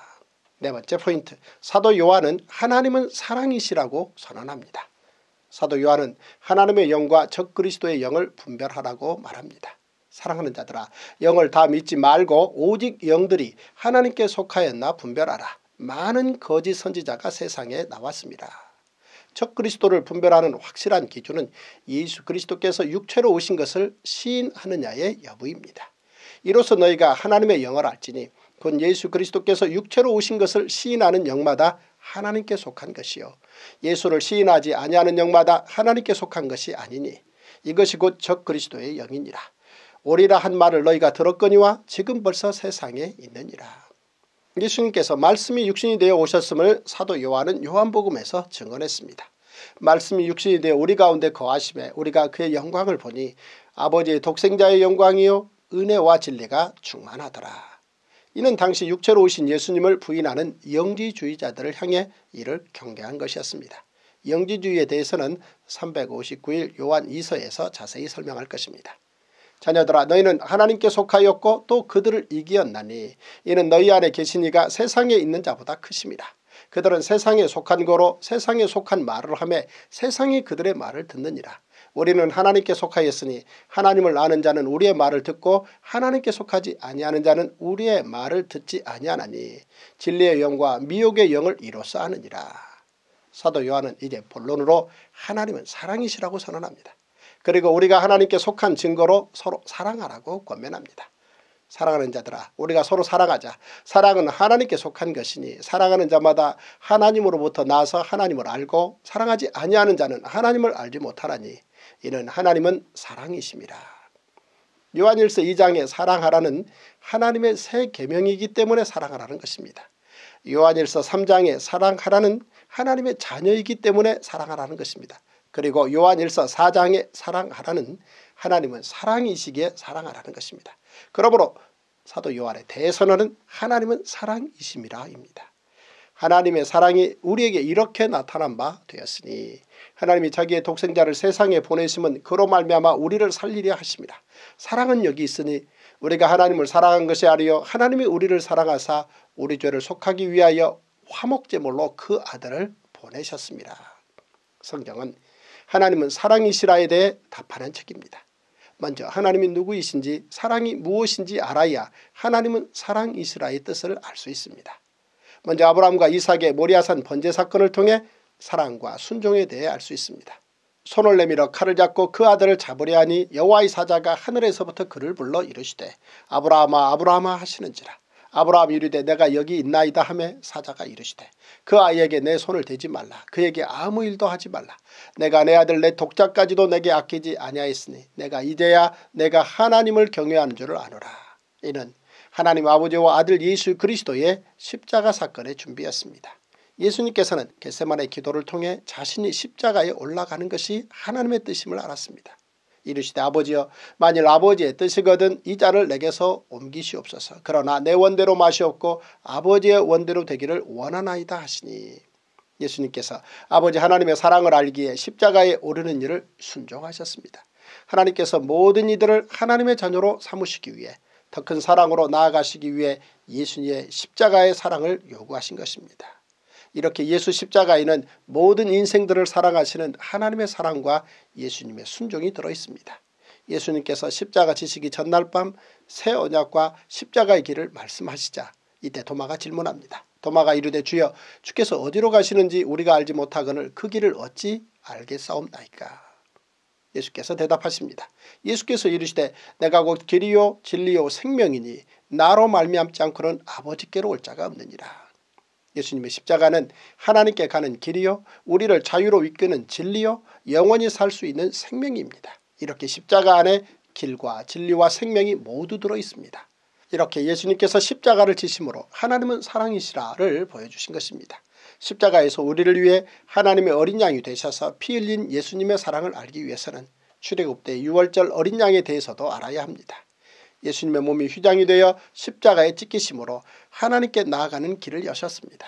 1500년 전 시내산에서 시작된 제사장 나라의 제사를 통해 하나님과의 만남이 시작되었습니다. 사람들은 성소로 나아가 희생제물을 드렸지만 휘장 앞까지만 갈 수 있었습니다. 이제 예수님께서 십자가에서 다 이루었다라고 하신 그 순간부터 예수님의 몸이 휘장이 되어 하나님께 나아가는 길이 열린 것입니다. 그러므로 형제들아 우리가 예수의 피를 힘입어 성소에 들어갈 담력을 얻었나니 그 길은 우리를 위하여 휘장 가운데로 열어놓으신 새로운 살 길이요 휘장은 곧 그의 육체니라. 우리는 예수님의 십자가를 믿기만 하면 하나님의 자녀가 될 수 있습니다. 우리는 오직 예수 그리스도의 이름으로 하나님께 나아갈 수 있습니다. 이 또한 하나님이 사랑이시기 때문입니다. 사도 요한은 예수님의 십자가를 통해 이 모든 것을 알았기에 하나님은 사랑이시라고 선언한 것입니다. 따라서 우리가 서로 사랑하는 것이 마땅하다고 사도 요한은 말합니다. 사랑하는 자들아 하나님이 이같이 우리를 사랑하셨은즉 우리도 서로 사랑하는 것이 마땅하도다. 사도 요한은 사랑을 행하는 자는 하나님 안에 거하는 자라고 말합니다. 그리고 사랑이 있는 자는 하나님의 심판 앞에 두려움 없이 나갈 수 있다고 말합니다. 사도 요한은 그 하나님의 사랑을 받은 우리가 이웃에게 사랑을 실천해야 한다고 교훈합니다. 우리가 사랑하면 그가 먼저 우리를 사랑하셨습니다. 누구든지 하나님을 사랑하노라 하고 그 형제를 미워하면 이는 거짓말하는 자니 보는 바 그 형제를 사랑하지 아니하는 자는 보지 못하는 바 하나님을 사랑할 수 없느니라. 우리가 이 계명을 주께 받았나니 하나님을 사랑하는 자는 또한 그 형제를 사랑할지니라. 새 계명을 너희에게 주노니 서로 사랑하라. 내가 너희를 사랑한 것 같이 너희도 서로 사랑하라. 너희가 서로 사랑하면 이로써 모든 사람이 너희가 내 제자인 줄 알리라. 하나님은 우리를 너무나도 사랑하셔서 독생자 예수를 보내주신 것입니다. 우리가 먼저 하나님을 사랑한 것이 아닙니다. 하나님께서 먼저 우리를 사랑하신 것입니다. 따라서 우리도 형제 자매를 먼저 사랑해야 합니다. 그런데 먼 곳에 있는 사람을 사랑하기는 쉬워도 오히려 가까이 있는 사람을 사랑하기는 정말 어렵습니다. 때문에 가까이 있는 형제자매를 사랑하는 것이 진정한 용기입니다. 다섯 번째 포인트 하나님의 아들 예수 그리스도는 물과 피와 성령으로 증거가 되신다고 사도 요한은 말합니다. 이제 사도 요한은 믿음에 대하여 다음과 같이 가르쳐줍니다. 첫째 예수께서 그리스도이심을 믿는 자가 하나님의 자녀이고 하나님의 자녀는 사랑을 행함으로 하나님의 계명을 지켜 세상을 이깁니다. 예수께서 그리스도 있음을 믿는 자마다 하나님께로부터 난 자니 또한 나으신 이를 사랑하는 자마다 그에게서 난 자를 사랑하느니라. 우리가 하나님을 사랑하고 그의 계명을 지킬 때에 이로써 우리가 하나님의 자녀를 사랑하는 줄을 아느니라. 하나님을 사랑하는 것은 이것이니 우리가 그의 계명들을 지키는 것이라. 그의 계명들은 무거운 것이 아니로다. 무릇 하나님께로부터 난 자마다 세상을 이기느니라. 세상을 이기는 승리는 이것이니 우리의 믿음이니라. 둘째, 하나님의 아들이신 예수님의 증거는 물과 피와 성령입니다. 예수께서 하나님의 아들이심을 믿는 자가 아니면 세상을 이기는 자가 누구냐. 이는 물과 피로 임하신 이신이 곧 예수 그리스도시라. 물로만이 아니요 물과 피로 임하셨고 증언하는 이는 성령이시니 성령은 진리니라. 증언하는 이가 셋이니 성령과 물과 피라. 또한 이 셋은 합하여 하나이니라. 셋째 예수 그리스도가 하나님의 아들이심을 하나님께서 증언하신 증거는 바로 하나님께서 우리에게 영생을 주셨다는 것입니다. 만일 우리가 사람들의 증언을 받을진데 하나님의 증거는 더욱 크도다. 하나님의 증거는 이것이니 그의 아들에 대하여 증언하신 것이니라. 하나님의 아들을 믿는 자는 자기 안에 증거가 있고 하나님을 믿지 아니하는 자는 하나님을 거짓말하는 자로 만드나니 이는 하나님께서 그 아들에 대하여 증언하신 증거를 믿지 아니하였습니다. 또 증거는 이것이니 하나님이 우리에게 영생을 주신 것과 이 생명이 그의 아들 안에 있는 그것이니라. 아들이 있는 자에게는 생명이 있고 하나님의 아들이 없는 자에게는 생명이 없느니라. 예수께서 이르시되 나는 부활이요 생명이니 나를 믿는 자는 죽어도 살겠고 무릇 살아서 나를 믿는 자는 영원히 죽지 아니하리니 이것을 내가 믿느냐. 넷째 예수 그리스도를 믿는 자들에게 주신 복은 영생과 담대함으로 하나님께 무엇이든 기도할 수 있다는 것과 그 기도를 하나님께서 응답해 주신다는 것입니다. 내가 하나님의 아들의 이름을 믿는 너희에게 이것을 쓰는 것은 너희로 하여금 너희에게 영생이 있음을 알게 하려 함이라. 그를 향하여 우리가 가진 바 담대함이 이것이니 그의 뜻대로 무엇을 구하면 들으심이라. 우리가 무엇이든지 구하는 바를 들으시는 줄을 안즉 우리가 그에게 구한 그것을 얻은 줄을 또한 아느니라. 사도 요한은 그러므로 하나님의 사랑을 받은 성도들은 사랑하는 형제들을 위해 중보기도하라고 말합니다. 누구든지 형제가 사망에 이르지 아니하는 죄 범하는 것을 보거든 구하라. 그래야면 사망에 이르지 아니하는 범죄자들을 위하여 그에게 생명을 주시리라. 사망에 이르는 죄가 있으니 이에 관하여 나는 구하라 하지 않겠노라. 모든 불의가 죄로 돼 사망에 이르지 아니하는 죄도 있도다. 사망에 이르는 죄는 사심을 얻지 못하는 죄 곧 성령을 모독하는 죄입니다. 그러므로 내가 너희에게 이르노니 사람에 대한 모든 죄와 모독은 사심을 얻되 성령을 모독하는 것은 사심을 얻지 못하겠고 그러나 이 외의 모든 죄는 사함을 받을 수 있습니다. 따라서 사망에 이르지 아니하는 죄를 범한 형제가 있을 때 그를 위해 기도하고 구하라는 것입니다. 그러면 그 기도에 대해 하나님께서 응답하심으로 악한 자가 그를 만지지 못하게 하실 것이며 하나님께 속하도록 영생을 주신다는 것입니다. 하나님께로부터 난 자는 다 범죄하지 아니하는 줄을 우리가 아노라. 하나님께로부터 나신 자가 그를 지키심에 악한 자가 그를 만지지도 못하느니라. 또 아는 것은 우리는 하나님께 속하고 온 세상은 악한 자 안에 처한 것이며 또 아는 것은 하나님의 아들이 이르러 우리에게 지각을 주사 우리로 참된 자를 알게 하신 것과 또한 우리가 참된 자 곧 그의 아들 예수 그리스도 안에 있는 것이니 그는 참 하나님이시요 영생이시라. 이제 사도 요한은 마지막으로 우상 숭배를 경계하라고 말하며 요한 일서를 마칩니다. 자녀들아 너희 자신을 지켜 우상에게서 멀리하라. 오늘 우리는 요한 1서 1장에서 5장을 읽었습니다. 하나님 나라 복음 굿뉴스는 다음과 같습니다. 첫째, 예수님의 신부는 하나님의 아들입니다. 모든 인간은 하나님의 피조물이지만 예수님은 하나님의 아들이십니다. 40일 금식기도 후 사탄이 예수님의 신분에 대해 질문했습니다. 내가 만일 하나님의 아들이어든 명하여 이 돌들로 떡덩이가 되게 하라. 공생애가 끝날 무렵 대지사장이 예수님의 신분에 대해 질문했습니다. 내가 하나님의 아들 그리스도인지 우리에게 말하라. 예수님께서 대답하십니다. 내가 말하였느니라. 예수님은 하나님의 아들 신부로 우리를 구속하신 구원자이십니다. 둘째 예수님의 공로는 십자가 대속입니다. 수만 명이 십자가를 진다 해도 단 한 사람의 죄도 속량할 수 없습니다. 인자가 온 것은 자기 목숨을 많은 사람의 대속물로 주려 함이니라.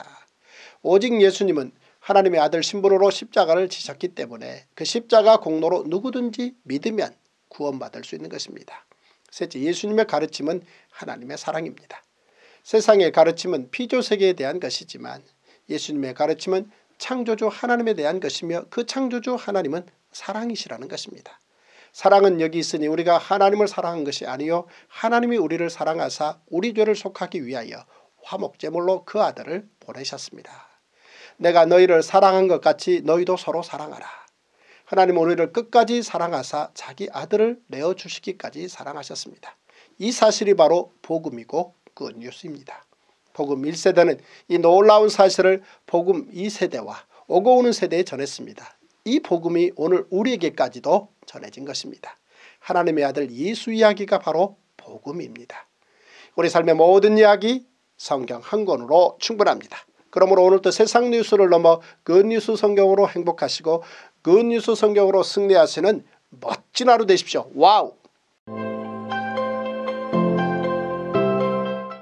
Wow 이제 요한이서 1장과 요한 3서 1장 통으로 숲 이야기 통숲 들어가겠습니다. 첫 번째 포인트 사도 요한은 진리를 행하는 자들에게 기쁨의 편지를 써보냅니다. 사도 요한의 편지인 요한 2서는 요한 1서의 축속판이라 할 정도로 요한 1서의 내용과 많이 유사합니다. 요한 2서는 그리스도인이 마땅히 형제를 사랑해야 한다는 것과 반면 바른 진리를 따르지 않고 예수 그리스도를 부인하는 이들에게는 단호하게 대처하라는 내용이 들어있습니다. 이는 교회 안에 있는 사람과 그 밖의 사람들을 구분하라는 말씀이 아닙니다. 교회는 믿는 사람이든 믿지 않는 사람이든 온 세상 사람들을 그리스도의 마음으로 품어 안아야 합니다. 하지만 잘못된 교리로 믿는 자들을 넘어뜨리려 하는 거짓 교사들로부터는 돌아서라고 경고하고 있습니다. 요한 이서 또한 인사로 시작됩니다. 장로인 나는 택하심을 받은 부녀와 그의 자녀들에게 편지하노니 내가 참으로 사랑하는 자요 나뿐 아니라 진리를 아는 모든 자도 그래야 하는 것은 우리 안에 거하여 영원히 우리와 함께할 진리로 말미암음이로다. 은혜와 극률과 평강이 하나님 아버지와 아버지의 아들 예수 그리스도께로부터 진리와 사랑 가운데서 우리와 함께 있으리라. 요한 이서의 수신자는 어느 부녀와 그의 자녀들인데 이는 어느 특정인을 지칭했다기보다는 교회의 성도들을 일컫는 것으로 보는 것이 타당합니다.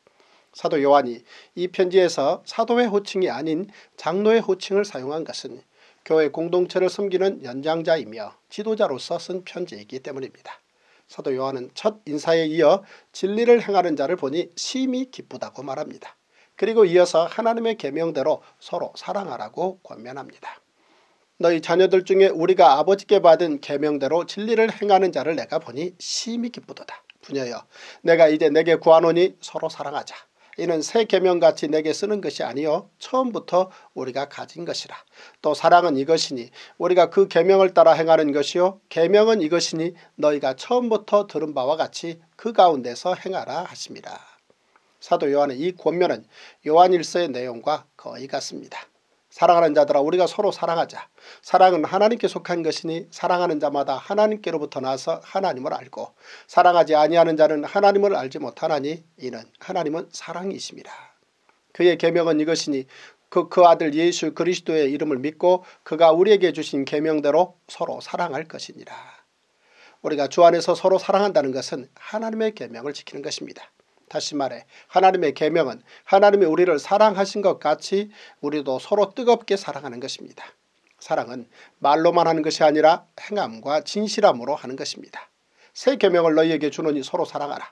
내가 너희를 사랑한 것 같이 너희도 서로 사랑하라. 너희가 서로 사랑하면 이로써 모든 사람이 너희가 내 제자인 줄 알리라. 두 번째 포인트. 사도 요한은 성도들에게 적그리스도를 경계하라고 당부합니다.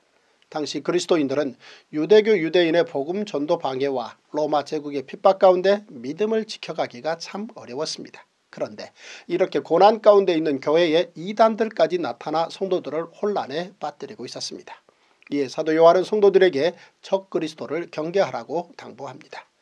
미혹하는 자가 세상에 많이 나왔나니 이는 예수 그리스도께서 육체로 오심을 부인하는 자라. 이런 자가 미혹하는 자요 적 그리스도니. 당시의 적 그리스도는 영지주의자들을 지칭한 것으로 보입니다. 영지주의자들은 예수님의 성육신을 부인하는 이단이었습니다. 영지주의는 인간은 참 지식 즉 그노시스를 얻음으로 구원된다는 종교적 철학적 이원론을 표방하는 이단이었습니다. 영지주의라는 이단의 가르침은 다음과 같습니다. 첫째 지식은 덕보다 우월하다는 것입니다. 둘째 구원은 물질세계와 직접적인 관련이 없는 미지의 하나님에 의해 선택된 일부 사람에게만 주어진다는 것입니다. 셋째, 신성은 육체와 같은 물질과 연합할 수 없으므로 예수님의 성육신은 믿을 수 없다는 것입니다. 넷째, 육체의 부활 같은 것은 없다는 것입니다. 이처럼 당시 영과 육에 관한 영지주의의 이원론적 사상은 서로 다른 두 가지 형태로 나타났는데 즉 모든 육식과 육체의 욕구를 금하는 금단적 금욕주의와 이와는 정반대로 육체는 전혀 쓸모없는 것이기에 음란한 짓을 해도 상관없다는 윤리적 방탕주의가 그것입니다. 사도 요한은 이러한 이단에 미혹되지 말라고 가르칩니다. 너희는 스스로 삼가 우리가 일하는 것을 잃지 말고 오직 온전한 상을 받으라. 계속해서 사도 요한은 예수 그리스도의 교훈이 아닌 다른 교훈 즉 복음을 잘못 가르치는 이들을 조심하고 심지어 이단과는 상대도 하지 말라고 말합니다. 지나쳐 그리스도의 교훈 안에 거하지 아니하는 자는 다 하나님을 모시지 못하되 교훈 안에 거하는 그 사람은 아버지와 아들을 모시느니라. 누구든지 이 교훈을 가지지 않고 너희에게 나아가거든 그를 집에 들이지도 말고 인사도 하지 말라. 그에게 인사하는 자는 그 악한 일에 참여하는 자임이라. 그리스도인이 진리를 말함에 있어서 그리고 하나님의 말씀을 행하는 데 있어서는 이단과 타협이 있을 수 없습니다. 사도 요한은 이와 같은 문제에 대해서 좀 더 구체적인 기준을 제시합니다. 만일 예수 그리스도가 육체로 이 땅에 온 것을 부인하며 그리스도의 교훈이 없는 자라면 그는 적그리스도이므로 그를 상대할 필요도 없고 그의 말을 들을 필요도 없다고 딱 잘라 말합니다. 사실 하나 둘 선긋기를 미루다 보면 거침없이 밀고 들어오는 게 적그리스도의 전략입니다. 하와를 유혹할 때 뱀의 말이 하나님이 주신 말씀과 처음에는 비슷한 것 같지만 끝이 완전히 달랐던 것처럼 이단은 끝이 다르다는 사실을 반드시 주의 깊게 살펴보아야 합니다. 이 모든 말을 전하고 사도 요한은 끝 인사로 요한 이사를 마칩니다.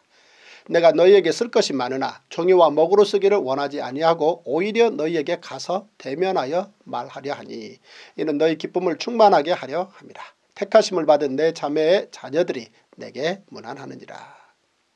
세 번째 포인트 사도 요한은 복음 전도자들에게 집을 공개하고 새 힘을 얻게 한 가이오에게 감사의 편지를 보냅니다. 요한 3서는 당시 여러 곳을 옮겨다니며 복음을 전하는 복음 전도자들에게 집을 공개하고 음식을 제공하며 새 힘을 얻어 다시 복음을 전하도록 도와준 가이오에게 사도 요한이 보낸 감사의 편지입니다. 가이오를 향한 간절한 기도 속에는 그의 영혼이 잘됨 같이 범사가 잘되고 강건하여지는 복을 받기를 바라는 마음이 잘 표현되어 있습니다. 사도 요한 요한 3서를 쓴 이유는 첫째 진리를 소화하며 사도 요한이 보낸 전도자들을 잘 대접한 가이오를 칭찬하기 위해서입니다. 둘째 가이오가 계속해서 전도자들을 후원하도록 격려하기 위해서입니다. 셋째 디오드레베의 교만과 나쁜 행실을 책망하기 위해서입니다. 넷째 데메드리오를 추천하기 위해서입니다. 다섯째 사도 요한이 직접 방문하여 이러한 문제들을 직접 처리할 것을 가이오에게 전하기 위해서입니다. 요한 3소도 사도 요한의 인사로 시작됩니다.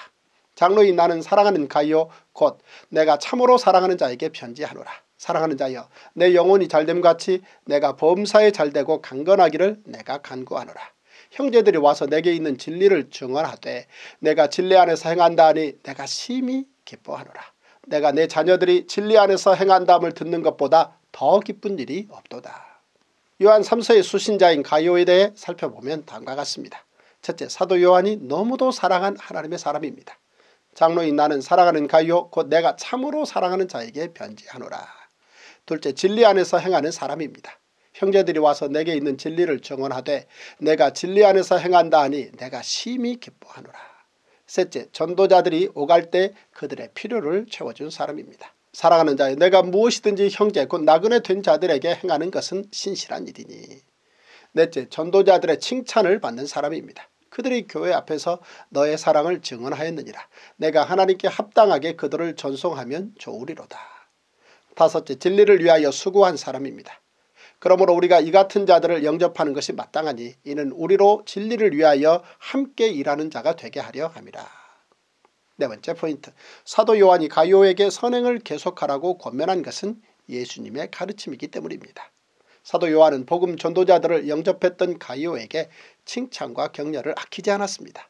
더불어 앞으로도 복음 전도자들을 대접하는 선한 일을 계속해서 행할 것을 독려합니다. 이렇게 사도 요한이 가이오에게 선행을 계속하라고 권면한 것은 예수님의 가르침이기 때문입니다. 너희를 영접하는 자는 나를 영접하는 것이요 나를 영접하는 자는 나를 보내신 이를 영접하는 것이니라. 선지자의 이름으로 선지자를 영접하는 자는 선지자의 상을 받을 것이요 의인의 이름으로 의인을 영접하는 자는 의인의 상을 받을 것이요 또 누구든지 제자의 이름으로 이 작은 자 중 하나에게 냉수 한 그릇이라도 주는 자는 내가 진실로 너에게 이르노니 그 사람이 결단코 상을 잃지 아니하리라 하시니라. 또한 사도 요한이 가이오에게 그의 선행을 계속하라고 권면한 것은 구약 성경에서도 가르쳐주는 내용이기 때문입니다. 너희와 함께 있는 거류민을 너희 중에서 나은 자같이 여기며 자기같이 사랑하라. 너희도 애굽 땅에서 거류민이 되었었느니라. 나는 너희의 하나님 여호와이니라. 이는 또한 초기교회 사도들의 가르침이기도 했습니다. 성도들의 쓸 것을 공급하며 손 대접하기를 힘쓰라. 형제 사랑하기를 계속하고 손님 대접하기를 잊지 말라. 이로써 부지 중에 천사들을 대접한 이들이 있었느니라. 다섯 번째 포인트 사도 요한은 복음을 위하여 모두 함께 일하는 것이 마땅하다고 가르칩니다. 사도 요한은 서로 다름이 하나님의 은혜라고 말하며 인생들이 어떻게 협업하여 하나님께 영광을 돌릴 것인지 생각해야 한다고 말합니다. 성경에는 다음과 같은 협업의 샘플들이 있습니다. 첫째 초기교회 사도들과 일곱 일꾼들의 협업이 있었습니다. 형제들아 너희 가운데서 성령과 지혜가 충만하여 칭찬받는 사람 일곱을 택하라. 우리가 이 일을 그들에게 맡기고 우리는 오로지 기도하는 일과 말씀 사역에 힘쓰리라 하니. 둘째 사도 바울 전도팀의 협업입니다. 사도 바울은 편지를 쓰고 동역자들은 그 편지를 전달했습니다. 골로새 교회와 빌레몬에게 보내는 편지는 투기고가 전달했습니다. 에베소 교회에 보내는 편지도 투기고가 전달했습니다. 빌립보 교회에 보내는 편지는 에바브로 디도가 전달했습니다. 로마 교회에 보내는 편지는 베베가 전달했습니다. 그리고 고린도 교회에 보내는 편지는 디모데와 디도가 전달했습니다. 셋째, 사도 바울팀의 또 다른 협업입니다. 사도 바울은 보내고 동역자들은 갔습니다.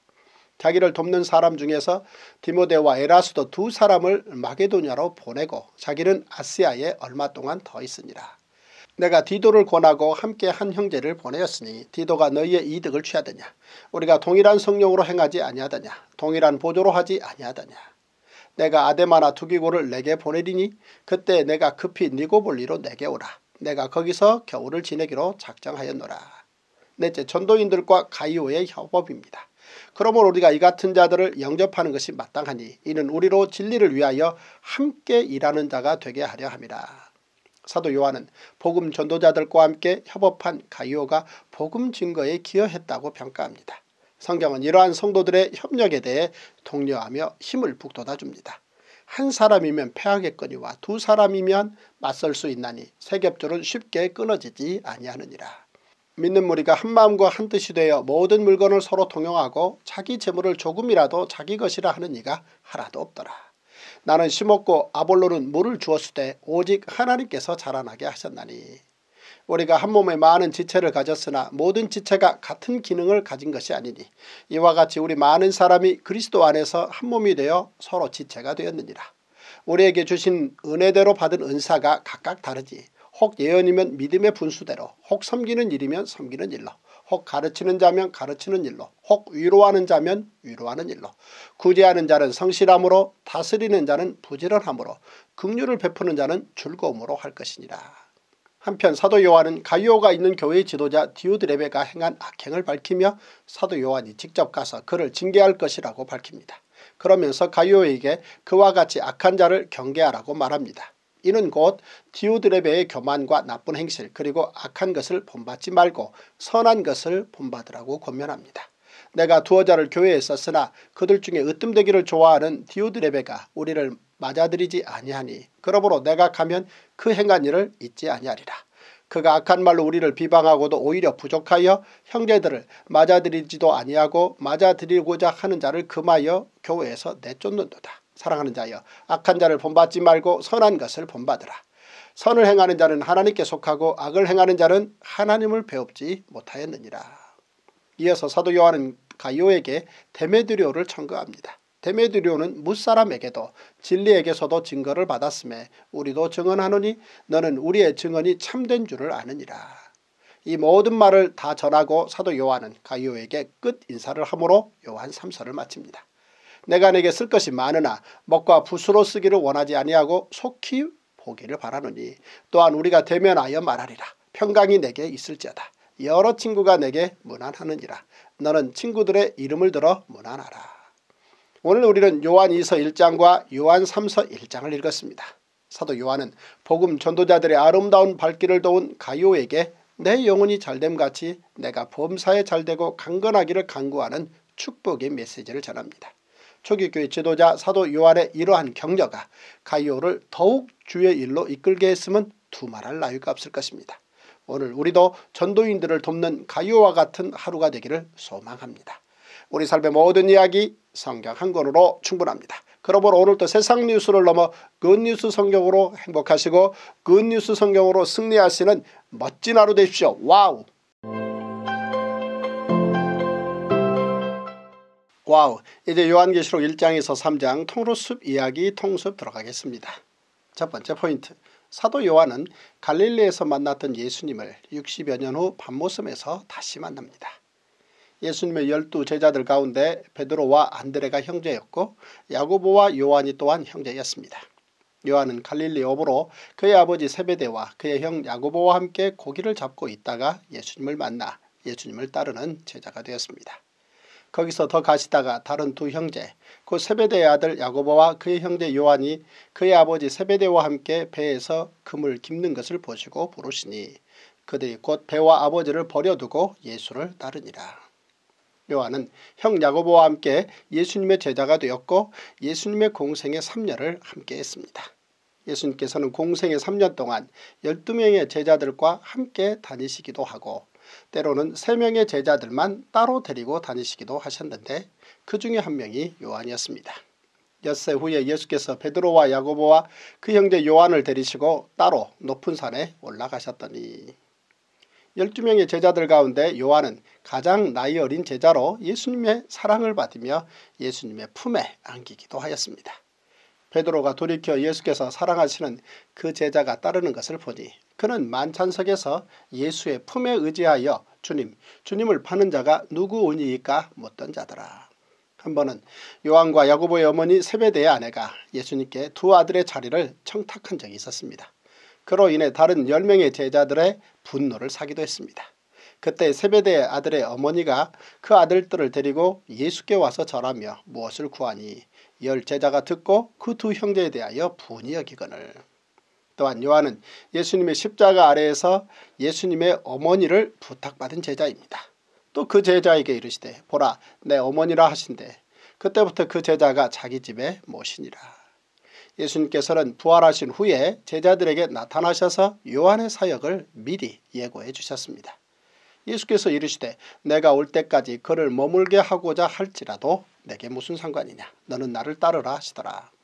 예수님께서 승천하신 후 요한은 예수님의 제자들과 함께 초기 교회의 사도가 되며 특히 사도 베드로와 함께 예루살렘 성전으로 기도하러 올라가던 중 성전 미문에서 나면서 못 걷게 된 일을 고치는 기적을 일으킵니다. 제9시 기도 시간에 베드로와 요한이 성전에 올라갈새 나면서 못 걷게 된 이를 사람들이 메고 오니 이는 성전에 들어가는 사람들에게 구걸하기 위하여 날마다 미문이라는 성전문에 두른 자라. 나은 사람이 베드로와 요한을 붙잡으니 그리고 요한은 자신의 형인 야고보가 예수님의 제자들 가운데 가장 먼저 순교하는 것을 보게 됩니다. 그때 헤로드 왕이 손을 들어 교회 중에서 몇 사람을 헤아려 하여 요한의 형제 야고보를 칼로 죽이니 그 AD 64년 로마 대화제 사건으로 사도 바울과 사도 베드로를 비롯한 초기 교회 지도자 200여 명이 순교하는 최대 위기 가운데 사도 요한은 간신히 목숨을 건져 결국 복음 2세대를 책임지는 초기 교회의 지도자가 됩니다. 사도 요한은 유대교 유대인들의 복음전도 방해와 이단들의 거짓 가르침 그리고 로마 제국의 박해 속에서 초기 교회를 지키며 다섯 권의 책을 써서 성경의 저자가 됩니다.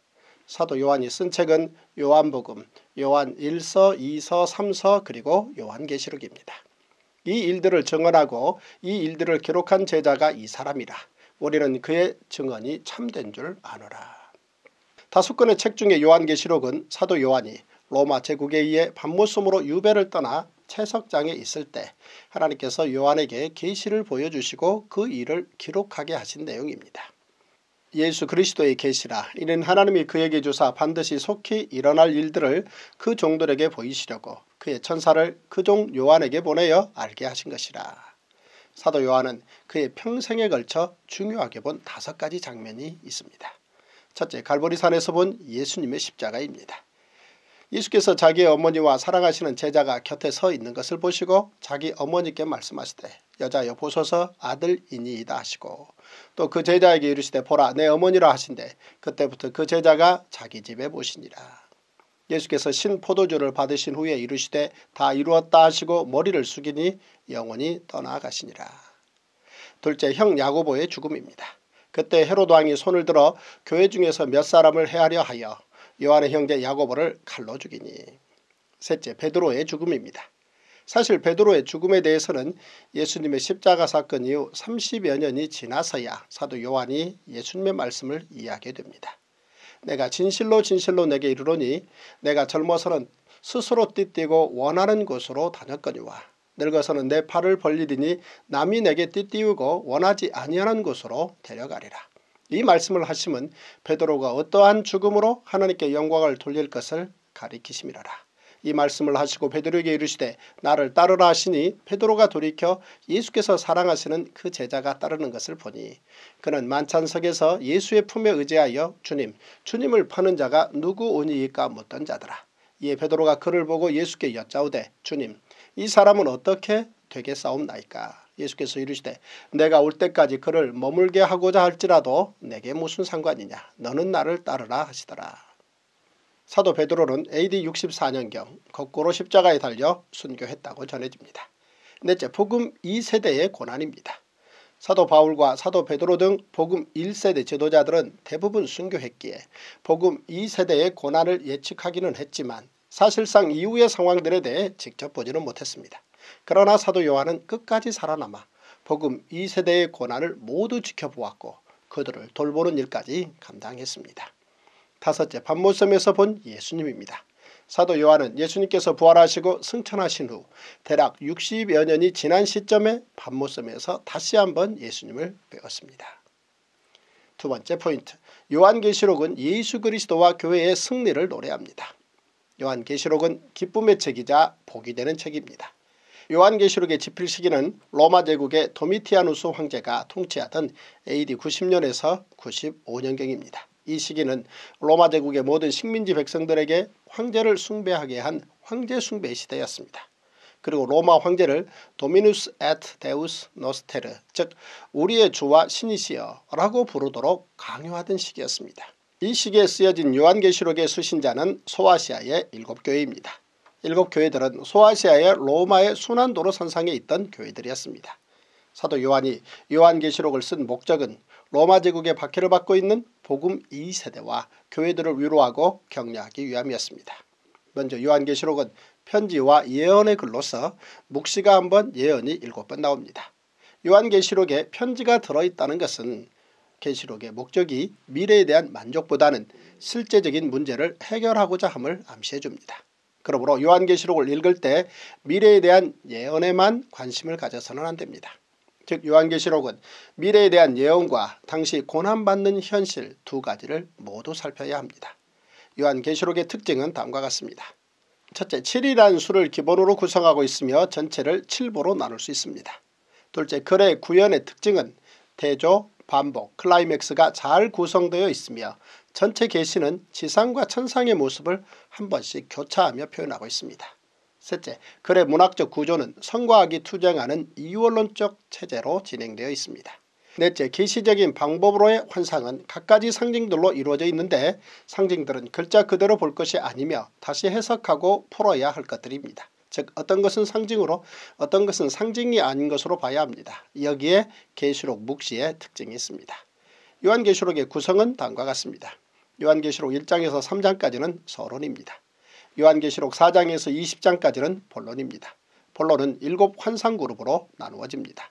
하늘의 보좌, 일곱 인, 일곱 나팔, 예수 그리스도와 사탄의 투쟁, 일곱 대접, 바벨론의 멸망, 최후의 승리.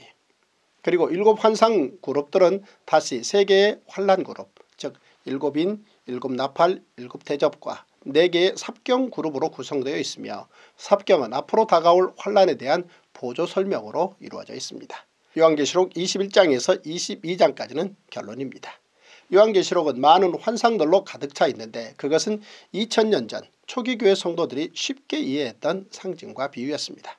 고난의 현실 속에서 신앙을 포기하고 배교의 길로 돌아서는 자들에게 요한계시록의 말씀은 현재의 고난을 인내하며 기다리는 자에게 궁극적인 소망이 있음을 이야기하는 책입니다. 요한계시록의 모든 내용을 곧장 이해하기에는 어려움이 따를 수도 있습니다. 그러나 하나님께서는 이것을 읽는 자와 듣는 자와 그 가운데 기록한 것을 지키는 자는 복이 있다고 말씀하셨습니다. 왜냐하면 이 말씀은 믿음을 굳게 지키는 자들에게 위로와 힘이 되는 말씀이요 그리스도인과 교회의 승리를 위해 주신 말씀이기 때문입니다. 이에 요한계시록은 미리 건네받은 그리스도인의 최후 승리에 참가라고 말할 수 있습니다. 세 번째 포인트 사도 요한은 예수님의 명령으로 로마 제국의 박해를 받고 있는 복음 2세대들에게 편지를 씁니다. 요한계시록은 서신서이면서 동시에 계시를 기록한 예언서이기에 사도 요한은 글의 시작을 인사가 아닌 예수 그리스도의 계시를 받아 글을 쓰게 된 이유를 먼저 설명하고 있습니다. 요한은 하나님의 말씀과 예수 그리스도의 증거 곧 자기가 본 것을 다 증언하였느니라.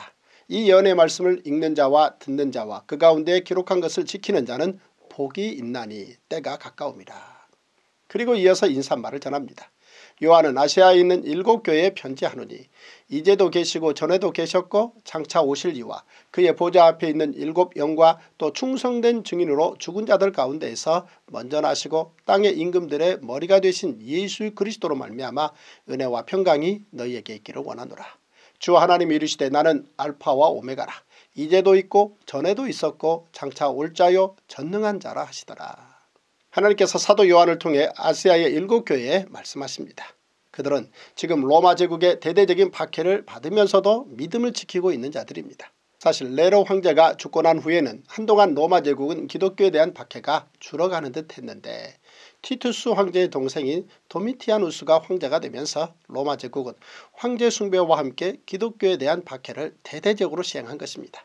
그 당시 기독교 박해는 로마 인근을 넘어 소아시아 지방으로까지 확대되었고 결국 사도 요한이 밤모섬에 유배되기까지 한 것입니다. 바로 이때에 하나님께서 고난 가운데 있는 성도들에게 하나님이 알파와 오메가 즉 처음과 마지막이라고 말씀하신 것입니다. 하나님을 믿는 성도들이 처음과 마지막을 기억할 수 있다면 그 안에서 당하는 여타의 어려움은 그저 지나가는 과정임을 알게 될 것입니다. 사도 요한은 자신이 요한계시록을 쓴 이유는 예수님의 명령 때문임을 밝힙니다. 나 요한은 너희 형제요 예수의 환란과 나라와 참음에 동참하는 자라. 하나님의 말씀과 예수를 증언하였으므로 말미암아 반모라 하는 섬에 있었더니 주의 날에 내가 성령에 감동되어 내 뒤에서 나는 나팔 소리 같은 큰 음성을 들으니 이르되 내가 보는 것을 두루마리에 써서 에베소, 서머나, 버가모, 두아드리아, 사대, 빌라델비아, 라우디기아 등 일곱 교회에 보내라 하시기로. 당시 사도 요한이 유배되어 있던 반모섬은 로마 제국이 종교범과 정치범을 유배 보냈던 곳으로 사도 요한은 그곳 채석장에서 힘든 노동을 해야만 했습니다.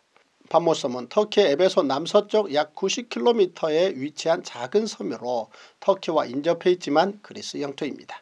이 밤모습으로 찾아오신 예수님께서는 사도 요한에게 네 가지 모습을 명확하게 보여주십니다. 첫째 하늘 보좌에 앉으신 하나님과 어린 양 예수님의 모습입니다. 둘째 하나님의 성전과 언약계입니다. 셋째 7인 7나팔 7대적과 새하늘과 새 땅의 모습입니다. 넷째 속히 오리라는 예수님의 마음을 보여주십니다. 네 번째 포인트 사도 요한은 고난 중에 있는 교회들에게 자신이 본 내용을 위로의 목적으로 편지를 써버립니다. 사도 요한은 예수님께서 보여주신 내용들을 당시 고난받고 있는 소아시아의 일곱 교회에 위로의 목적으로 편지를 써보냅니다. 에베소 교회는 수고와 인내로 거짓을 드러내며 참고 견디고 있었습니다. 서머나 교회는 환란과 궁핍, 유대인의 비방을 견디고 있었습니다. 버가모 교회는 사탄의 권자가 있는 곳에서 믿음을 지키고 있었습니다. 두아디아 교회는 사업과 사랑과 믿음과 섬김과 인내로 견디고 있었습니다. 사대 교회는 그 옷을 더럽히지 아니한 자 몇 명이 있었습니다. 라우디게아 교회는 책망과 징계를 말할 수 있는 사랑하는 교회였습니다. 빌라델피아 교회는 작은 능력을 가지고도 지키며 배반하지 않으며 고난을 견디고 있었습니다. 이렇게 당시 복음 2세대 교회들이 얼마나 힘든 고난을 견디고 있었는지를 볼 수 있습니다. 사도 요한은 복음 2세대 교회의 샘플이라 할 수 있는 이러한 소아시아의 일곱 교회들을 택해 힘든 고난의 현실을 견디고 있는 그들을 위로하고자 자신이 본 예수 그리스도와 교회의 최후 승리를 써서 편지로 보냈던 것입니다. 일곱 교회는 위로도 받았지만 그들이 고쳐야 할 부분에 대해서는 사랑에 기반한 책망도 듣습니다. 왜냐하면 책망도 사랑이기 때문입니다. 다섯 번째 포인트 사도 요한은 일곱 교회에 칭찬과 책망 그리고 격려의 형식으로 메시지를 줍니다. 이제 본격적으로 사도 요한을 통해 소아시아의 일곱 교회에 하나님의 말씀이 전달됩니다. 첫째 에베소 교회에 주시는 말씀입니다. 먼저 에베소 교회가 받은 칭찬입니다. 에베소 교회의 사자에게 편지하라. 오른손에 있는 일곱 뼈를 붙잡고 일곱 금초대 사이를 거니시는 이가 이르시되 내가 내 행위와 수고와 내 인내를 알고 또 악한 자들을 용납하지 아니한 것과 자칭 사도라 하되 아닌 자들을 시험하여 그의 거짓된 것을 내가 드러낸 것과 또 내가 참고 내 이름을 위하여 견디고 게으르지 아니한 것을 아노라. 에베소 교회는 교회를 지키기 위해 이단들을 용납하지 않았음에 칭찬받습니다. 그리고 고난을 받으나 예수 이름을 위해 견디고 게으르지 않은 것도 칭찬받습니다. 이제 에베소 교회가 받은 책망입니다. 그러나 너를 책망할 것이 있나니 너의 처음 사랑을 버렸느니라. 그러므로 어디서 떨어졌는지를 생각하고 회개하여 처음 행위를 가지라. 만일 그리하지 아니하고 회개하지 아니하면 내가 내게 가서 내 촛대를 그 자리에서 옮기리라.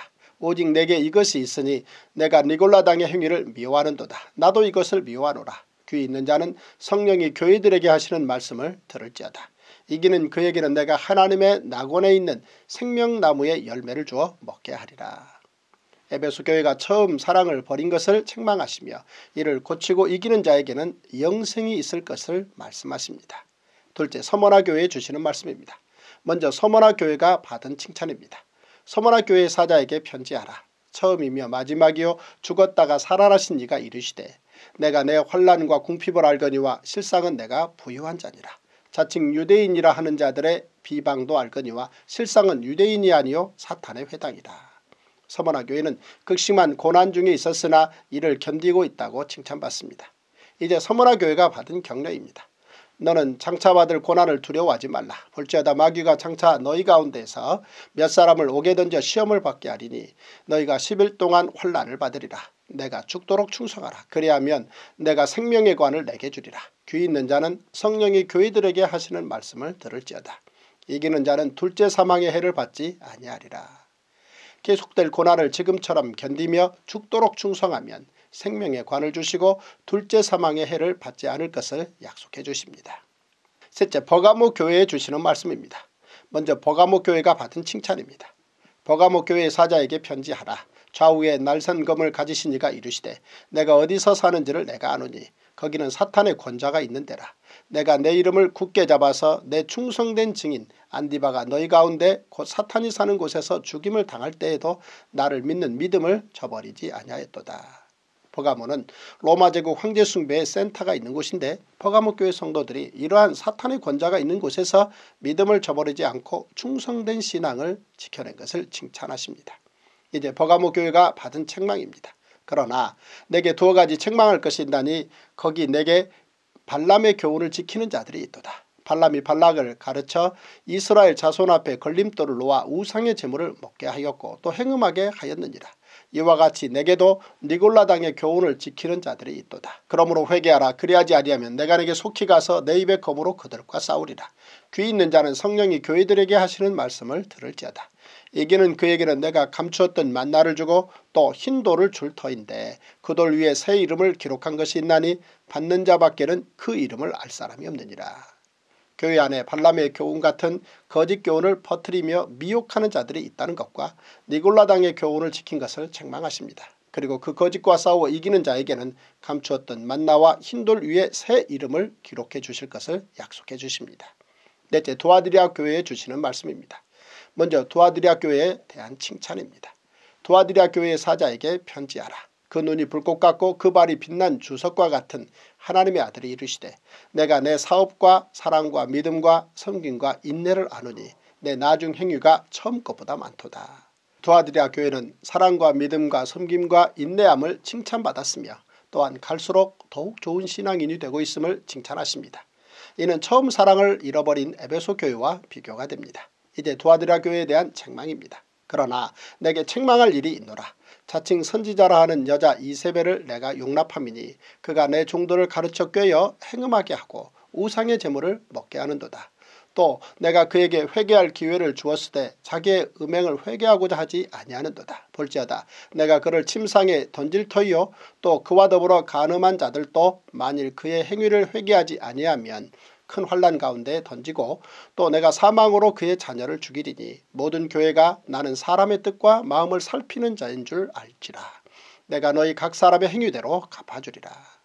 도아디라 교회는 우상을 숭배한 것을 책망받습니다. 그리고 이에 대해 회개할 기회를 주셨으나 회개하지 않음도 책망받습니다. 그러므로 끝까지 회개하지 않으면 행위대로 심판하실 것을 경고하십니다. 도아드리아 교회는 경고도 받습니다. 도아드리아에 남아 있어 이 교훈을 받지 아니하고 소위 사탄의 깊은 것을 알지 못하는 너희에게 말하노니 다른 짐으로 너희에게 지울 것은 없노라. 다만 너희에게 있는 것을 내가 올 때까지 굳게 잡으라. 이기는 자와 끝까지 내 일을 지키는 그에게 만국을 다스리는 권세를 주리니 그가 철장을 가지고 그들을 다스려 질그릇 깨뜨리는 것과 같이 하리라. 나도 내 아버지께 받은 것이 그러하니라. 내가 또 그에게 새벽별을 주리라. 귀 있는 자는 성령이 교회들에게 하시는 말씀을 들을지어다. 도아드리아 교회에는 끝날까지 신앙을 지키며 이기면 만국을 다스리는 권세와 새벽별을 주실 것을 약속해 주십니다. 새벽별은 예수님으로 예수님과의 동행을 약속해 주신 것입니다. 다섯째 사대교회에 주시는 말씀입니다. 먼저 사대교회는 책망을 받습니다. 사대교회 사자에게 편지하라. 하나님의 일곱 영과 일곱 별을 가지시니가 이르시되 내가 내 행위를 아노니 내가 살았다 하는 이름은 가졌으나 죽은 자로다. 너는 일깨어 그 남은 바 죽게 된 것을 굳건하게 하라. 내 하나님 앞에 내 행위에 온전한 것을 찾지 못하였노니 그러므로 내가 어떻게 받았으며 어떻게 들었는지 생각하고 지켜 회개하라. 만일 일깨지 아니하면 내가 도둑같이 이르리니 어느 때 내게 이르는지 내가 알지 못하리라. 그러나 사대의 그 옷을 더럽히지 아니한 자 몇 명이 내게 있어 흰옷을 입고 나와 함께 다니리니 그들은 합당한 자인 영고라. 사대교회는 옷을 더럽히지 아니한 자가 소수 있기는 하지만 소수의 성도들을 제외하고는 칭찬받을 일이 거의 없다고 책망받습니다. 겉은 살아있는 것 같으나 죽은 신앙이 된 것을 회개하고 복음을 어떻게 받았고 들었는지 생각하며 온전함을 되찾으라고 말씀하십니다. 이제 사대교회가 받은 격려의 말씀입니다. 이기는 자는 이와 같이 흰옷을 입을 것이요 내가 그 이름을 생명책에서 결코 지우지 아니하고 그 이름을 내 아버지 앞과 그의 천사들 앞에서 시인하리라. 귀 있는 자는 성령이 교회들에게 하시는 말씀을 들을지어다. 거짓 진리와 싸워 이기는 자에게는 흰옷을 입혀주시고 생명책에 영원히 기록해 주실 것을 약속해 주십니다. 여섯째 빌라델피아 교회에 주시는 말씀입니다. 먼저 빌라델비아 교회에 대한 칭찬입니다.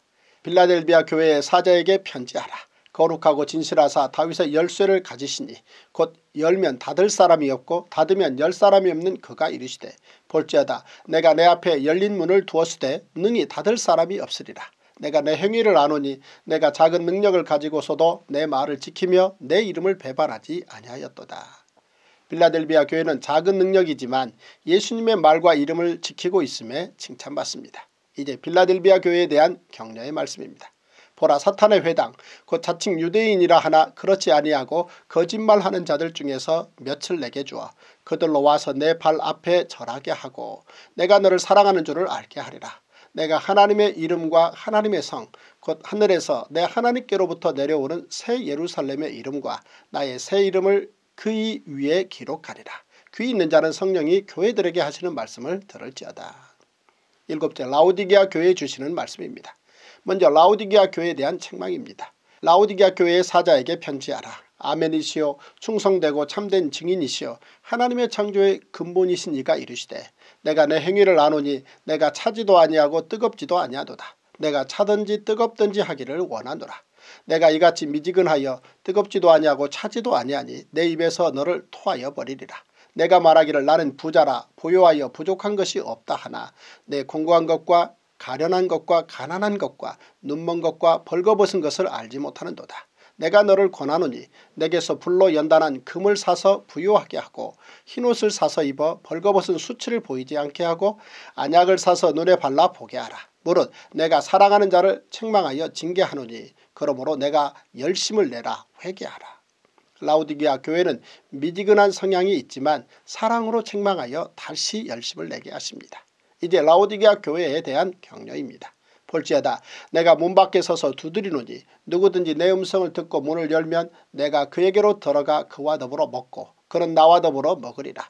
이기는 그에게는 내가 내 보좌에 함께 앉게 하여 주기를 내가 이기고 아버지 보좌에 함께 앉은 것과 같이 하리라. 귀 있는 자는 성령이 교회들에게 하시는 말씀을 들을지어다. 라우디기아 교회가 칭찬을 받을 만한 사람이 지금은 없지만 문 두드리는 주의 음성을 듣고 문을 열면 그들과 더불어 먹고 마시며 하나님 나라의 영광을 주실 것을 약속해 주십니다. 오늘 우리는 요한계시록 1장에서 3장을 읽었습니다. 예수님의 승천 이후 초기 기독교는 목숨의 위협을 느낄 정도로 극심한 핍박을 견뎌내야 했습니다. 나이 많은 사도 요한도 사형은 면했지만 반모섬의 채석장으로 끌려가 고된 노역을 감당해야 했습니다. 그러한 상황 가운데 하나님께서는 사도 요한을 통해 소아시아의 일곱 교회를 비롯한 수많은 교회들에게 미리 받은 승리의 노래를 부르게 하십니다. 하나님께서는 이 예언의 말씀을 읽는 자와 듣는 자들 그 가운데 기록한 것을 지키는 자들이 복이 있다고 말씀하시며 고난의 시기를 보내고 있는 그들에게 큰 위로와 힘을 주십니다. 우리 삶의 모든 이야기 성경 한 권으로 충분합니다. 그러므로 오늘도 세상 뉴스를 넘어 good news 성경으로 행복하시고 good news 성경으로 승리하시는 멋진 하루 되십시오. Wow